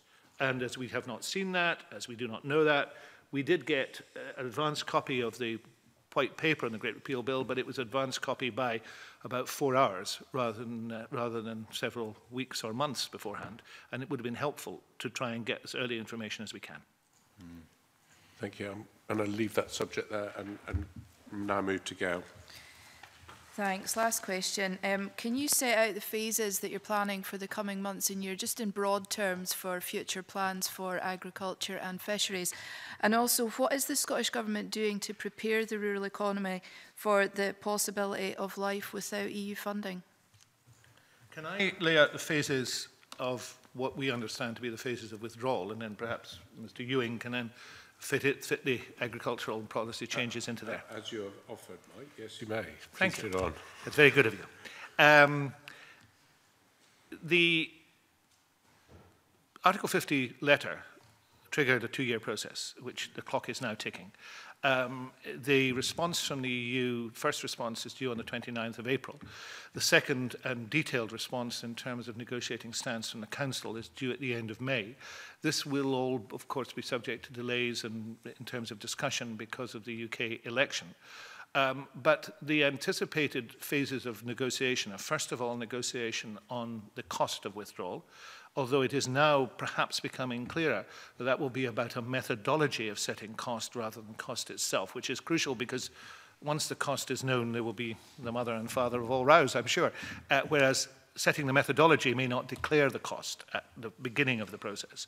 So there's anticipated that that and the issue of EU nationals and reciprocal arrangements for UK nationals in Europe, uh, plus one or two other technical issues, will dominate the first period of negotiation. The question is, will there be a parallel set of negotiations on the details of the trade and other uh, issues? Now, the European Commission presently says no, that they will want to finish the first part, and only if that is finished will they move on to the second part. I think most people expect some dovetailing uh, towards the end of the process. So that will take into the autumn, I would think, before the negotiation on substantial issues takes place. Now, that will be very much, I think, now a sectoral uh, negotiation. If the UK had agreed to stay in the single market in some way or another, it would have been a much simpler negotiation. It would essentially have been single market minus. So the negotiation would have been about what you weren't contributing and what you weren't taking part in. Because the UK has set its face against that, because of the issues largely to do with the ECJ and not accepting judgments outside the UK, then you will have a detailed sectoral process. That is very complicated. So it has to be finished in framework terms by essentially the end of 2018 to allow a ratification process, which will involve over 30 parliaments, because there won't just be the national parliaments, some of the sub-state parliaments will have the right to do so. The only parliament doesn't appear to have the right to do so is the Scottish Parliament, but I just make that point. Um, and at the end of that, there will then be a decision on the framework. But then, of course, putting that into effect may take several years because there will be transitionary arrangements to be had. I would expect the agriculture and fisheries issues to be negotiated during the, eight, the year to 18 months of detailed negotiation, that is from the autumn of this year to the autumn of the following year, but I wouldn't expect the final arrangements to be going into place until the transition phase, which would be from the providing the parliaments vote for this and the European Parliament has a final say, yes or no, that would be from the spring of 19 onwards. And the question is, how long that, will that be? Now, that is all, I have to say, speculation. It's informed speculation, but anything could change, including any willingness by the UK not to remain within the process. That the European process would continue and come to an end, but the UK might have walked away.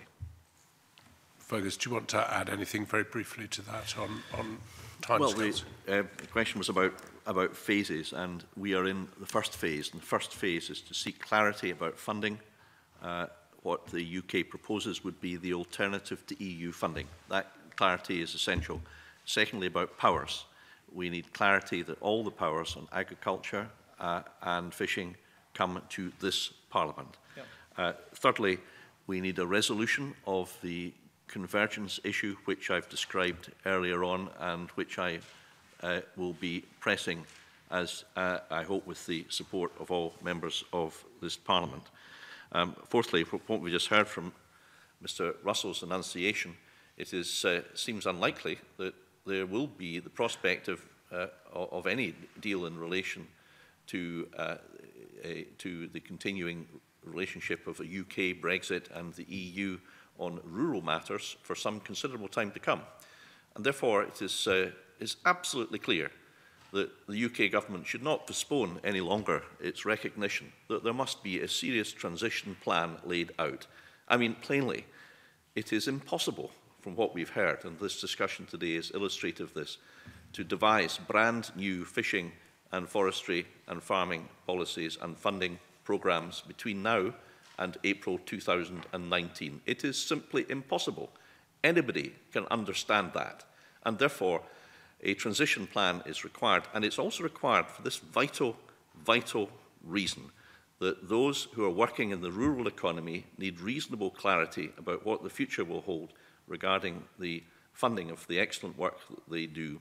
And the sooner the UK government come up with a proper transition plan, uh, the sooner some form of reassurance might be able to be provided to those who are uh, uh, building and uh, Uh, uh, uh, uh, and delivering on the rural economy across the board. Thank you, thank you very much, Cabinet Secretary. And I'd like to thank all of you because that brings to a conclusion our session on Brexit this morning. Fergus Ewing, thank you very much. Mike Russell, David, um, I noticed you helping the Minister and, uh, and Alan, thank you very much for your contribution. And Jonathan, thank you also for being in attendance. I'd like to briefly suspend the meeting while we give the witnesses a chance to change.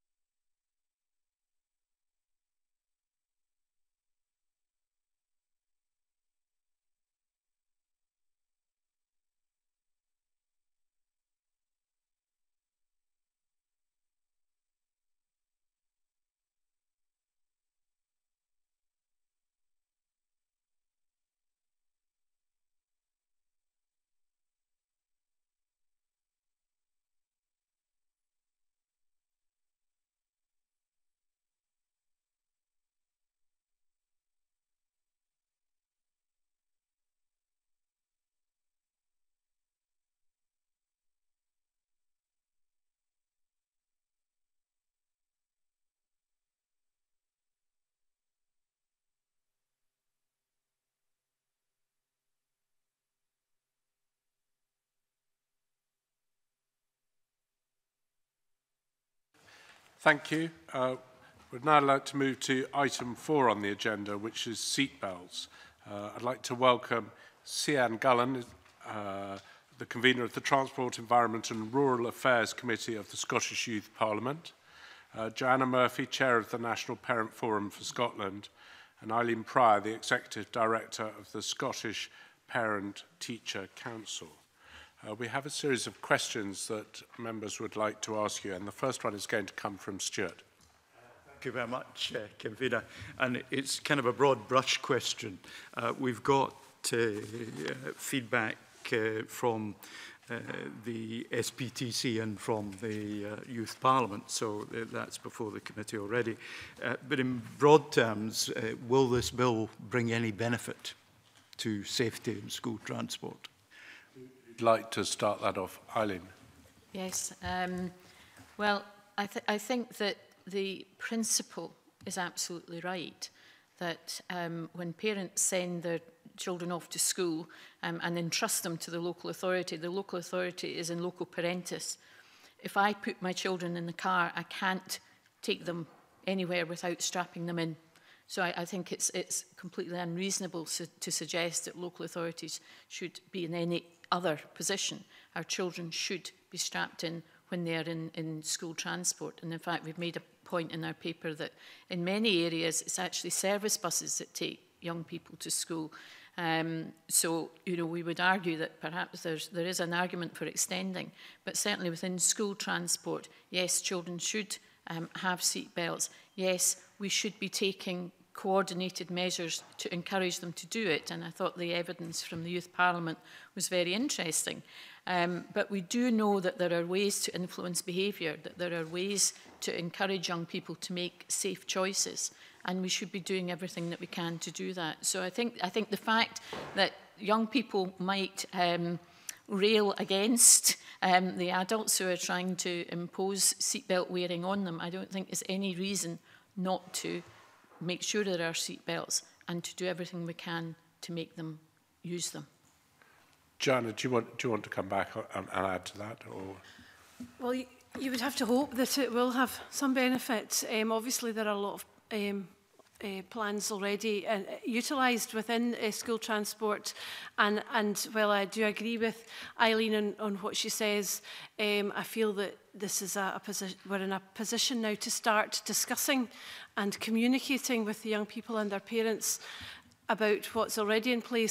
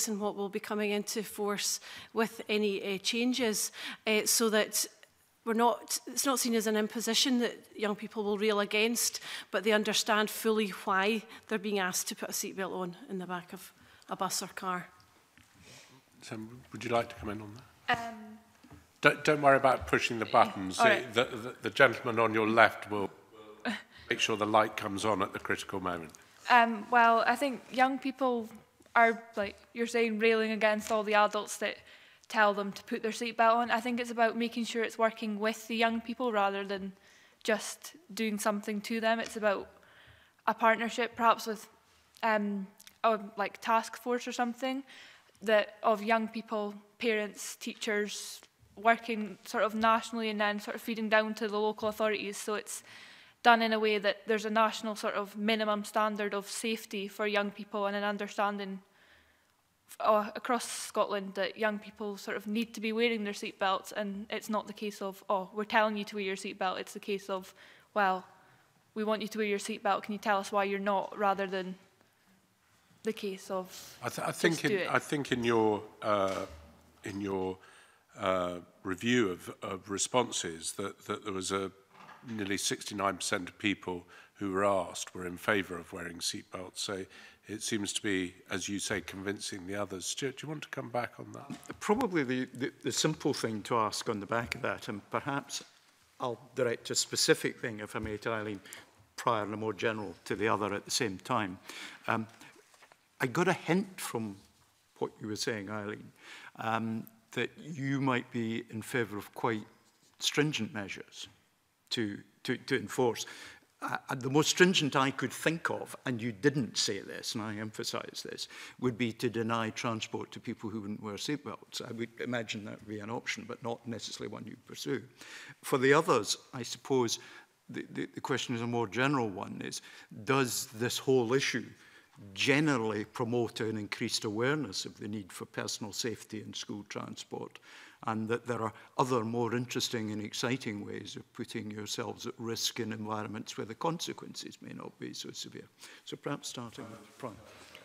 I, I don't think that I would say I'm in favour of, of stringent um, rules. I, I entirely agree with, with the notion that actually this is, this is something that we do with, not to. Um, and we, you know, schools, local authorities, um, parents, young people need to work together on this um, so that it becomes something that is the norm. Just as 30 years ago, um, smoking was the norm, it no longer is. Um, just as seatbelt wearing was not the norm, well, now it is. So it, it will not happen quickly, but you know, it's a, it's a process by which um, we work together to change behaviours. You have to use a wee bit of a carrot and a wee bit of a stick to achieve that.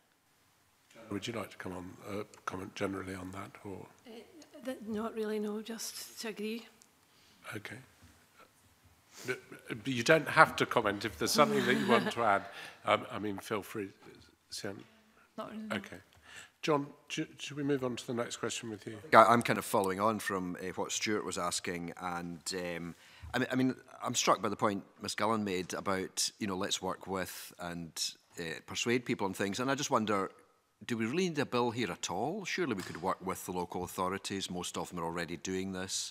Do, do you think there's really a need for a bill? Yeah, there's yeah, there's a need for there's always a need for legislation where there is any sense of dubiety or a sense that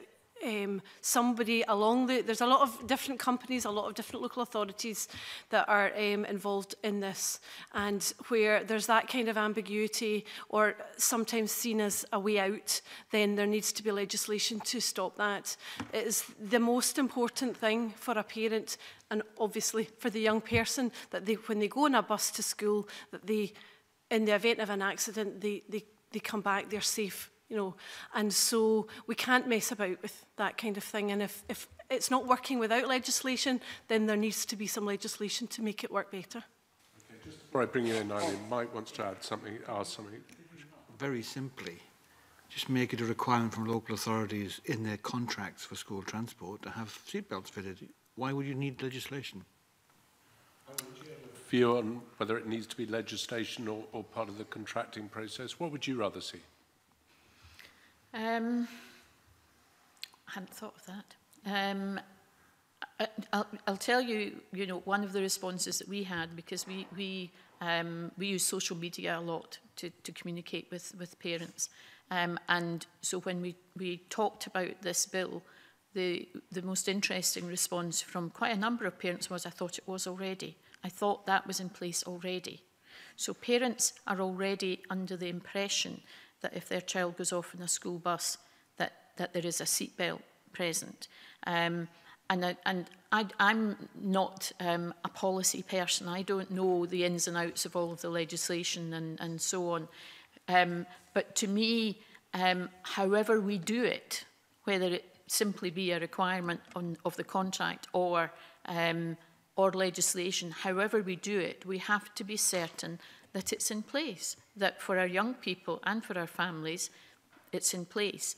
Um, I'm afraid you're the folk that are going to have to tell us what's the best way to do it. But I completely get Joanna's point that, that sadly we know that if there is not legislation, very often actually the game is to work to find a way, a way around the rules. And that's, that's in every walk of life. So it may well be that, that actually legislation is required.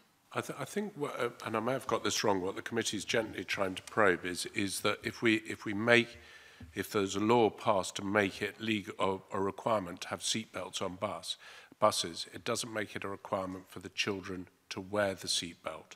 And, and um, I think what the committee is trying to understand is, is whether it's a requirement just to have it part of the contract that would achieve the same thing, or whether you think we're, and I don't want to put words into your mouth, whether we're not going far enough by, by seeking it to make it a legal requirement that you have to wear a seatbelt on a bus. Sian, do you want to come back on that? Um, I think something worth maybe to make the legislation slightly more useful than just put into a contract is making it that the young people or and parents and teachers have to be consulted on how to implement the wearing of seatbelts. You can't you can't legally require them to wear the seatbelt through the legislation that you've got. But I understand that you can legally require local authorities to perhaps consult with young people on better ways to implement seatbelt wearing as it is, because I think from 14, if there's a seatbelt provided, you're responsible for wearing that yourself. So I think it's also making young people aware that that already is in place and that legally they have to be wearing the seatbelt if it's provided. Um, so that's something maybe to consider putting in to make sure that schools are making the young people aware of that. I mean, first of all, if I can answer Mike Rumble's point, I mean, I think the whole point of the legislation is to make the local authorities put it in their contract. So I don't think it's an either or. I think it's it's the two together. But if if, if I could switch on, I mean, I think other colleagues are going to come in about the who actually wears them or not. Uh, but the other point that's been mentioned was the service buses, which is the normal buses we all use day to day, and which certainly don't have seat belts on them. I mean, is there any point, do you think, doing the, the buses that the schools contract? if we're not also got seat belts on the, the service buses? Yep, I mean, we certainly made the point that in, in many rural areas where I live, for instance, a lot of young people get to school through an extension of their service bus. So it goes its normal route, but it also goes off on a dog leg to school. So a lot of young people from out with the town will, will travel to school on that service bus. And there is an argument, I think, that says if, if your company is providing that kind of service, then you should also be providing seatbelts so that, that we're not um, basically saying your, you, your kids are safe, but your kids are dispensable. They're on a service bus. So, you know, I, th I think as, a, as a, a nation, we need to be thinking about these things and about um, how safe our passengers are on the bus. I don't know how often any of you travel on the bus, but I tell you, there's times I wish there were seatbelts on them.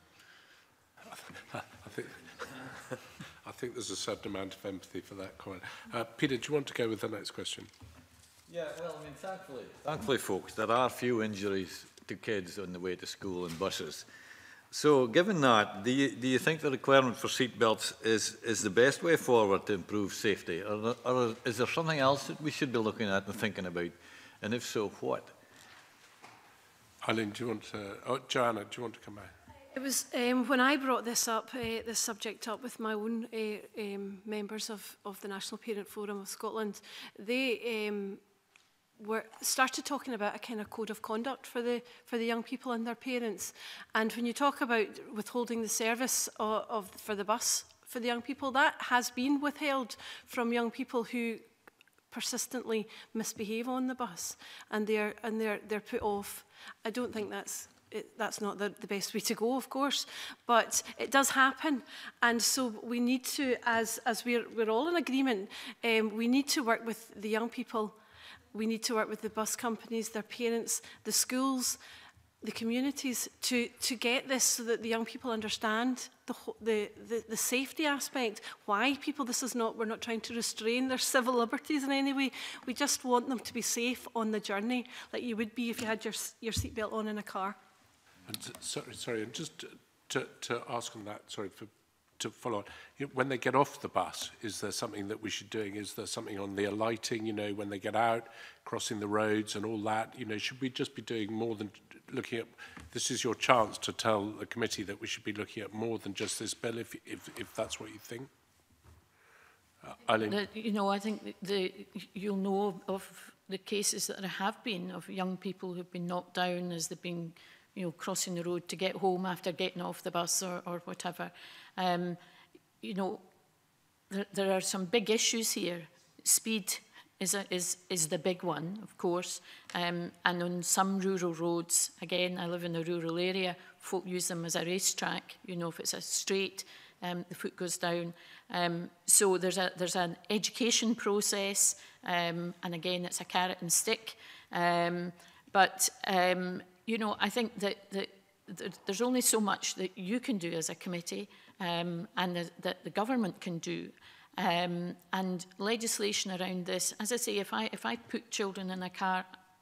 I need to strap them in. That's, my, that's legally my responsibility. Um, I need to ensure that my passengers are strapped in. So I don't think it's unreasonable to legally expect bus companies and drivers to ensure that young people at least have the ability to strap in um, and we encourage young folk to do it point. Eh, eh, I mean, I think, Joanna, you referred to it. You know, sitting in your seat with your seat belt on would be the safest option. Sitting in your seat without the seat belt would certainly be a far better option than running up and down the corridor, if, for, for example, if that was the time that the bus had the accident. So there is an issue about behaving on the bus, uh, over and above the fact that or, or not that there's seatbelts in there. And, and I, you know, you, you, you, did reflect on that, and I think that's one of the issues we need to think about as well. Fulton, do you want to come in? Yeah, I mean, it wasn't a supplementary or anything, convener. It was, it was really just a, um, a question about um, do and I appreciate I might have missed this in my previous committee session, but do you think that parents uh, in general just assume that there is seatbelts on buses? Because when I, when I actually said to some folk that I know this was going through Parliament, the amount of times people said to me, did they not, they not have a seatbelt on school buses? and, and maybe not maybe not specifically people, and I know it's antidotal, but maybe not specifically people who had kids at school or of school age,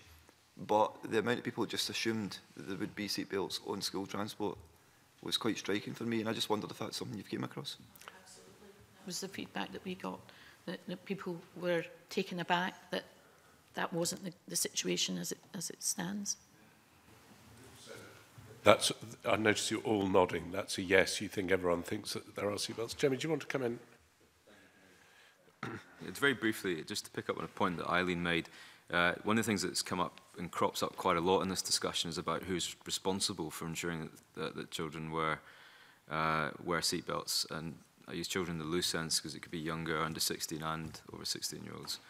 Um, you mentioned that you think it's the if I can confirm, you think that the drivers should be responsible for ensuring that seat belts are worn. Uh, the driver, therefore, representing the bus company that has the contract with the authority. Uh, other uh, schools of thought are that it's up to uh, someone at the school at either end of that process. Other people think it's the children themselves. Other people think it's the parents. It's such a perhaps controversial issue, but do you have, does, are there any further views on who should be responsible and therefore legally liable if something happened uh, if seatbelts are not worn, because it's quite a contentious issue. Eileen, would you like to lead on that? Yeah, I mean, it, it is contentious, and I can completely see um, where the different perspectives come from. I think that, that young people's behaviour um, is influenced by all of these parties. Um, my sense is that, that um, young ch younger children will respond to an adult telling them what to do um, and will respond generally, respond favourably and, and do what they're required to do. Um, your challenge comes in, in teenage years as, as young people are expressing themselves and getting a sense of self um, and, and particularly with that group, you're, you're then into the territory of peer influence um, and, and and modifying behaviour through consultation and discussion and setting um, good example. Um, so it's, it, I'm trying to get out of answering your question because I think it's really hard.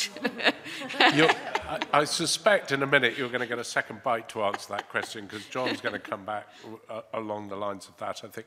And um, it may be appropriate to bring you in now, John, just on Thank you. Good, eh, good morning, panel, and thanks for, for your input. Uh, this is a, a lawmaking uh, forum, that, and uh, we're keen to make good law. And I, I just wonder, I would seek your views on whether you feel, were this legislation to, to proceed, that it would be compromised if children chose not to use seatbelts. That, really good question. Uh, Joanna, do you want to go on that? And, or I mean, that... I suppose it's back down to, I suppose, who, who, who's the enforcement. It, it, everything will be compromised if you chose not to do it. But it's back down to discussions within the school, if where, at whatever level. I remember as, as a girl, all the the, the Green Cross code and all the you know, the adverts in the telly and the squirrel thing and all, all the rest of it are telling you, helping you to, to learn. Now, I had already walked about crossroads with my parents and they helped me to learn the, the dangers back in a time where there was much less traffic.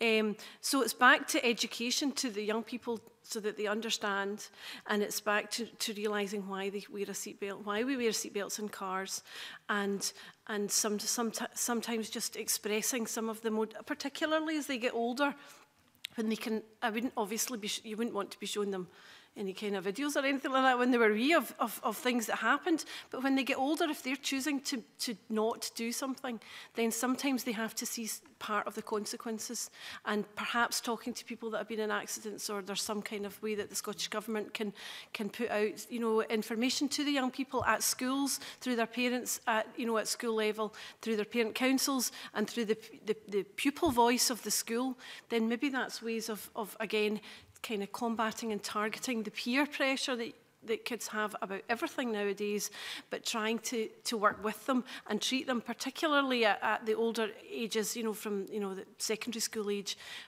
to try and, and, and work with them so they again, they fully understand. They don't, because it's without most people's scope to, to, to know what it's like to be in an accident. Thankfully, thankfully, very few of us are in accidents. But when you are in one, then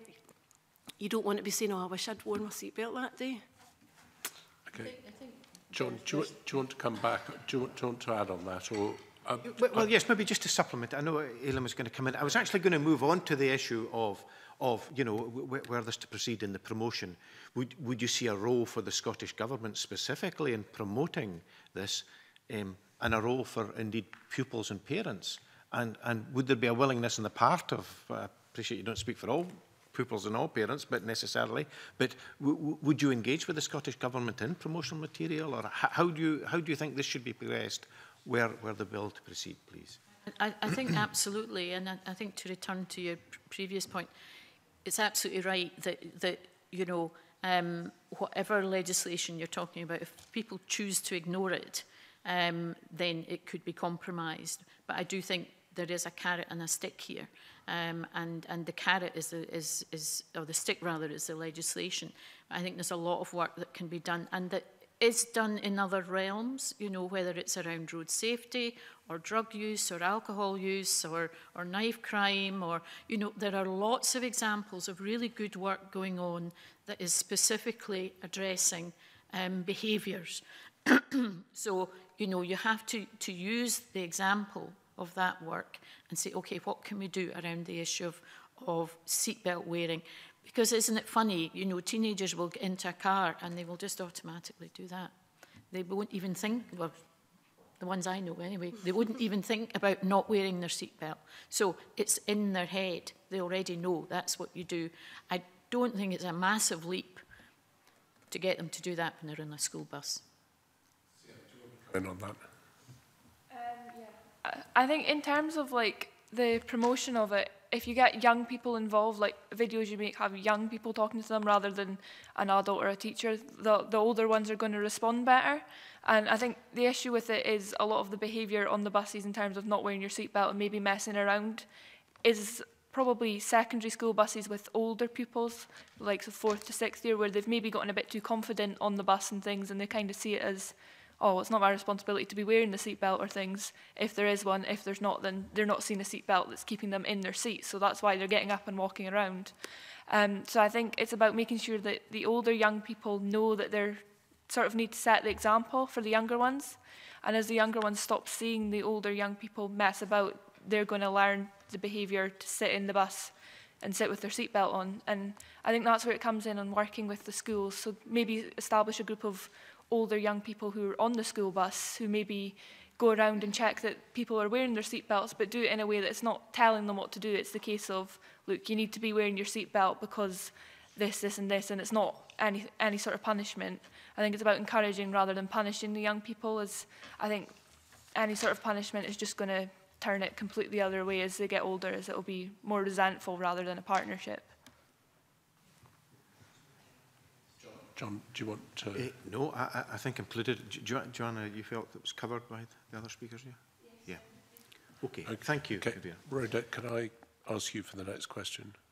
Yes, um, and it's something we've touched on previously about um, how we enforce seatbelt wearing. And I think it was Eileen that you'd said that, you know, if a parent has to make sure that the child is wearing a seatbelt in a car, then surely the bus driver can do the same in a bus. And I'm just wondering if that is actually workable or whether we need somebody else on the bus making sure, given bus driver is more than, you know, three or four people to monitor. And just imagining the situation, I, I suppose I would sooner the bus driver was concentrating on, on driving rather than monitoring what's going on behind in the bus. Do you think the bill needs to be strengthened and that there is somebody on the bus keeping an eye?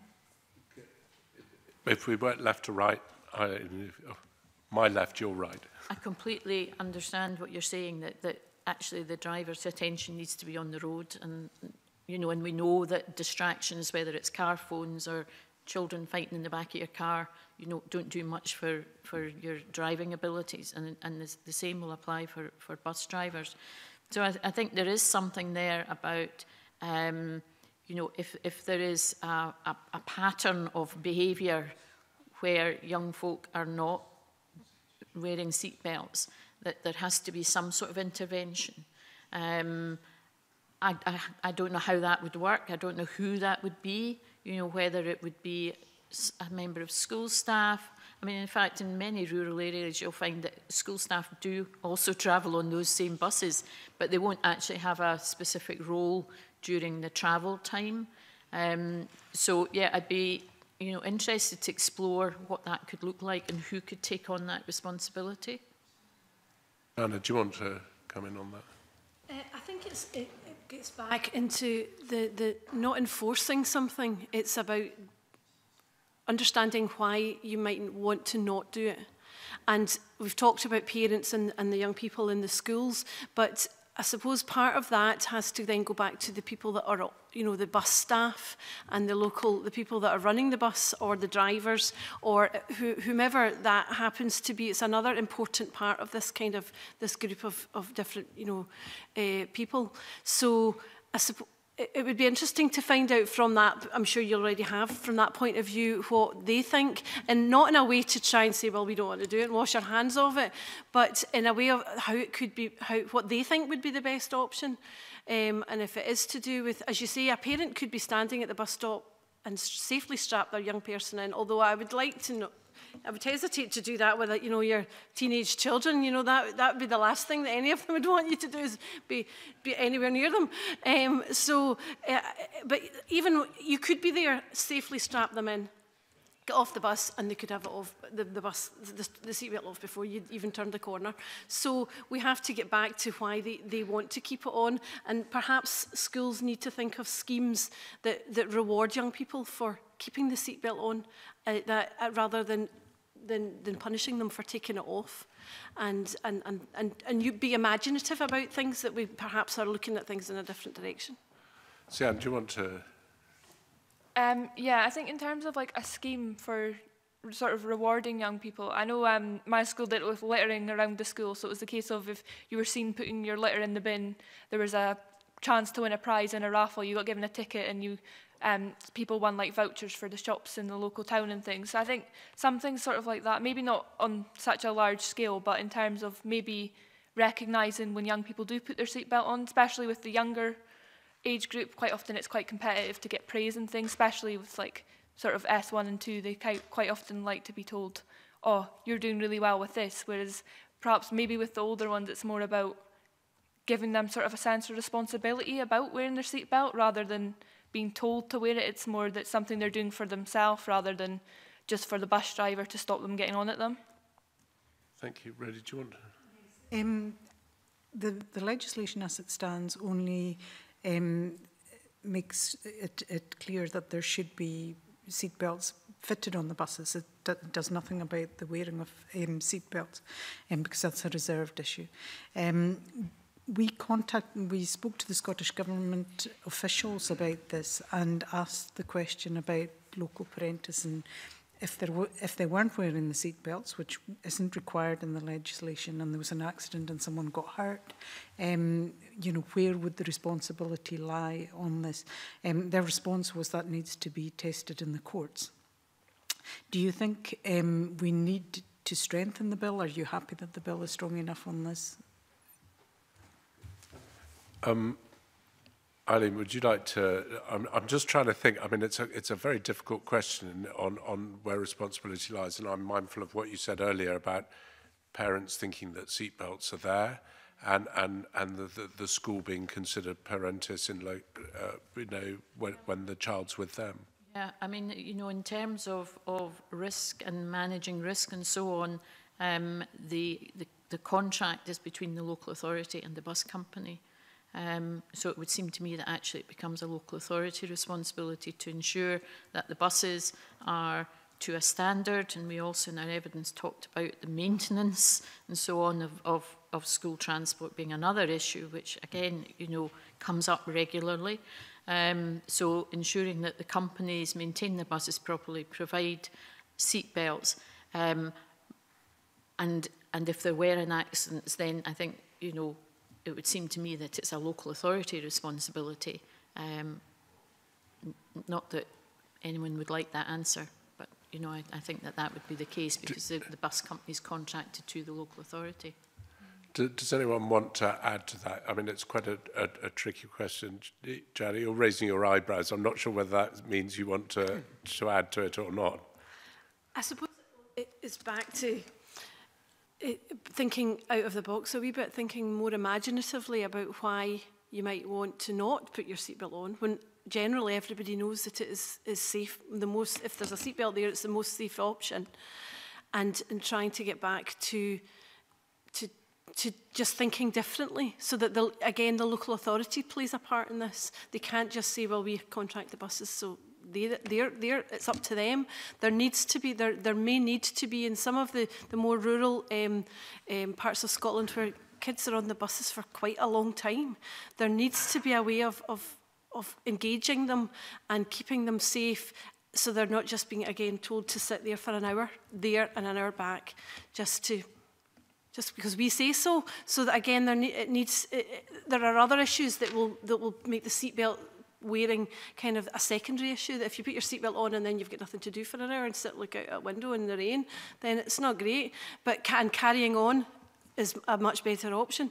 So um, I suppose we have to think about that. And if it needs to be that the local authorities then have to, to find a way of, of having somebody on the bus with the young people, then maybe that is, is the answer in some cases. Yeah. Sian, do you want to come back? There's one further question. Okay. No, was that no? no? Jamie, you've got the last question on this. Specifically applies to the commuting to and from home and the school. It doesn't include excursions or school trips or anything that happens during the day. Do you think those should should be included, or are you happy for those to be left out? To, um, I mean, I think this is something that's worrying the committee. Uh, Jana, do you want to start on that? They should be included. In my experience, going out as a parent helper on, on, on coaches, essentially, um, taking young people to, to events.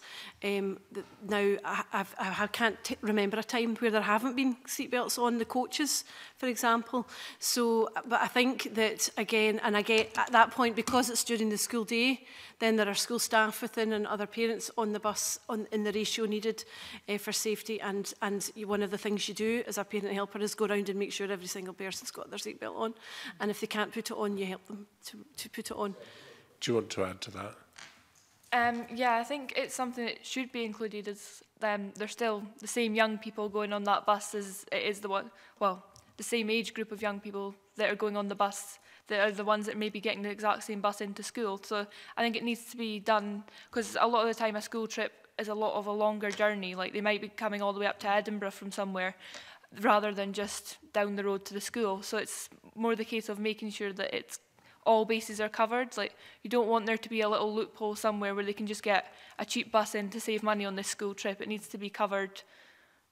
to make sure that young people are safe and that they know that their their rights and sort of responsibility to wear a seatbelt and it actually might help encourage young people to make sure they wear their seatbelt if they're told on school trips by staff who are there that they should be wearing it.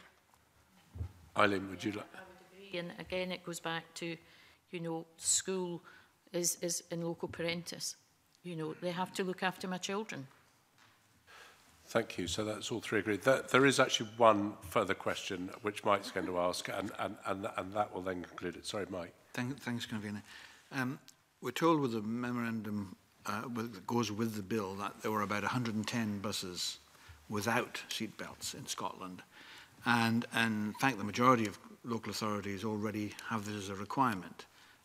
And the Scottish the Strathclyde Partnership for Transport already told us that actually their local authorities are moving along with this. So the vast majority of local authorities already have this requirement to have seatbelts on. So my question really is, can you give us any insight uh, from your experiences or any feedback that you've had from people across the country where this is the norm, that you've already, we've already got seatbelts in, in buses, um, how local authorities actually dealt with the wearing of seatbelts? I mean, They're there already uh, in the vast majority of places. So how are they dealing? How are, how are the current lot of local authorities who have this requirement already dealing with this issue of safety and has it improved safety?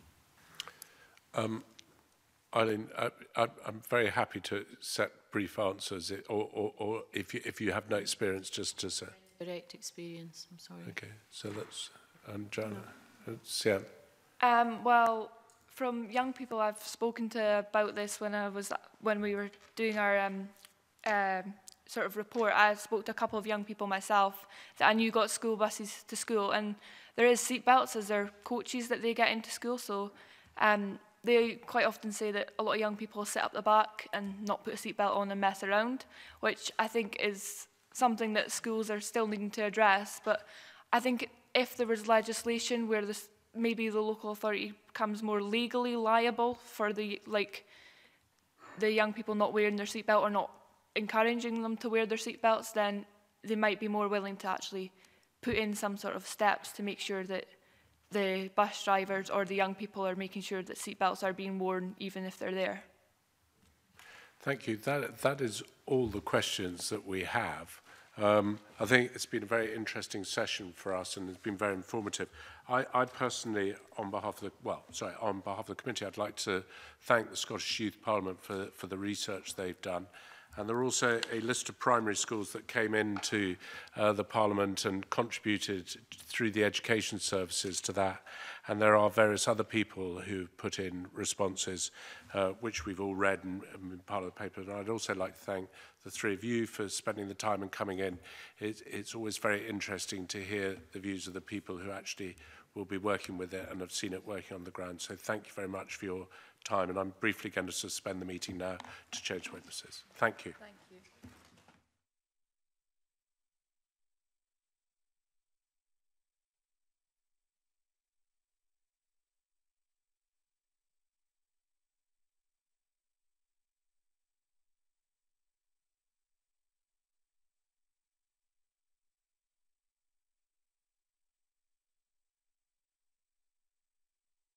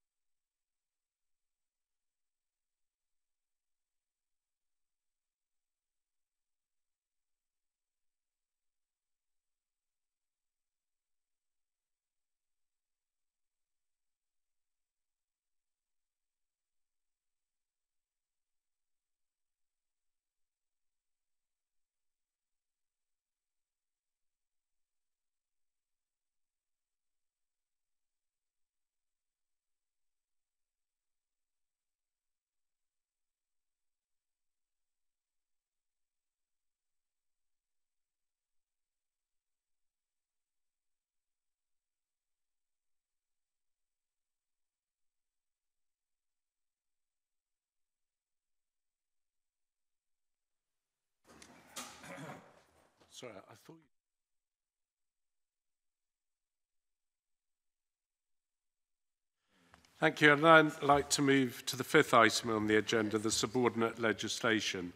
Uh, this is a negative instrument uh, as detailed on the agenda. Uh, the committee will now consider any issues it wishes to raise in reporting that to the Parliament. The member should note that no motions to annul have been received in relation to this instrument. There have also been no representations to the committee on this instrument. Does any member of the committee want to make comment on the instrument? Therefore, is the committee agreed that it does not wish to make any recommendations in relation to this instrument? That is agreed. Uh, the, final uh, item is going to be taken in private session. Therefore, I'd like to close the meeting at this stage to move into private session.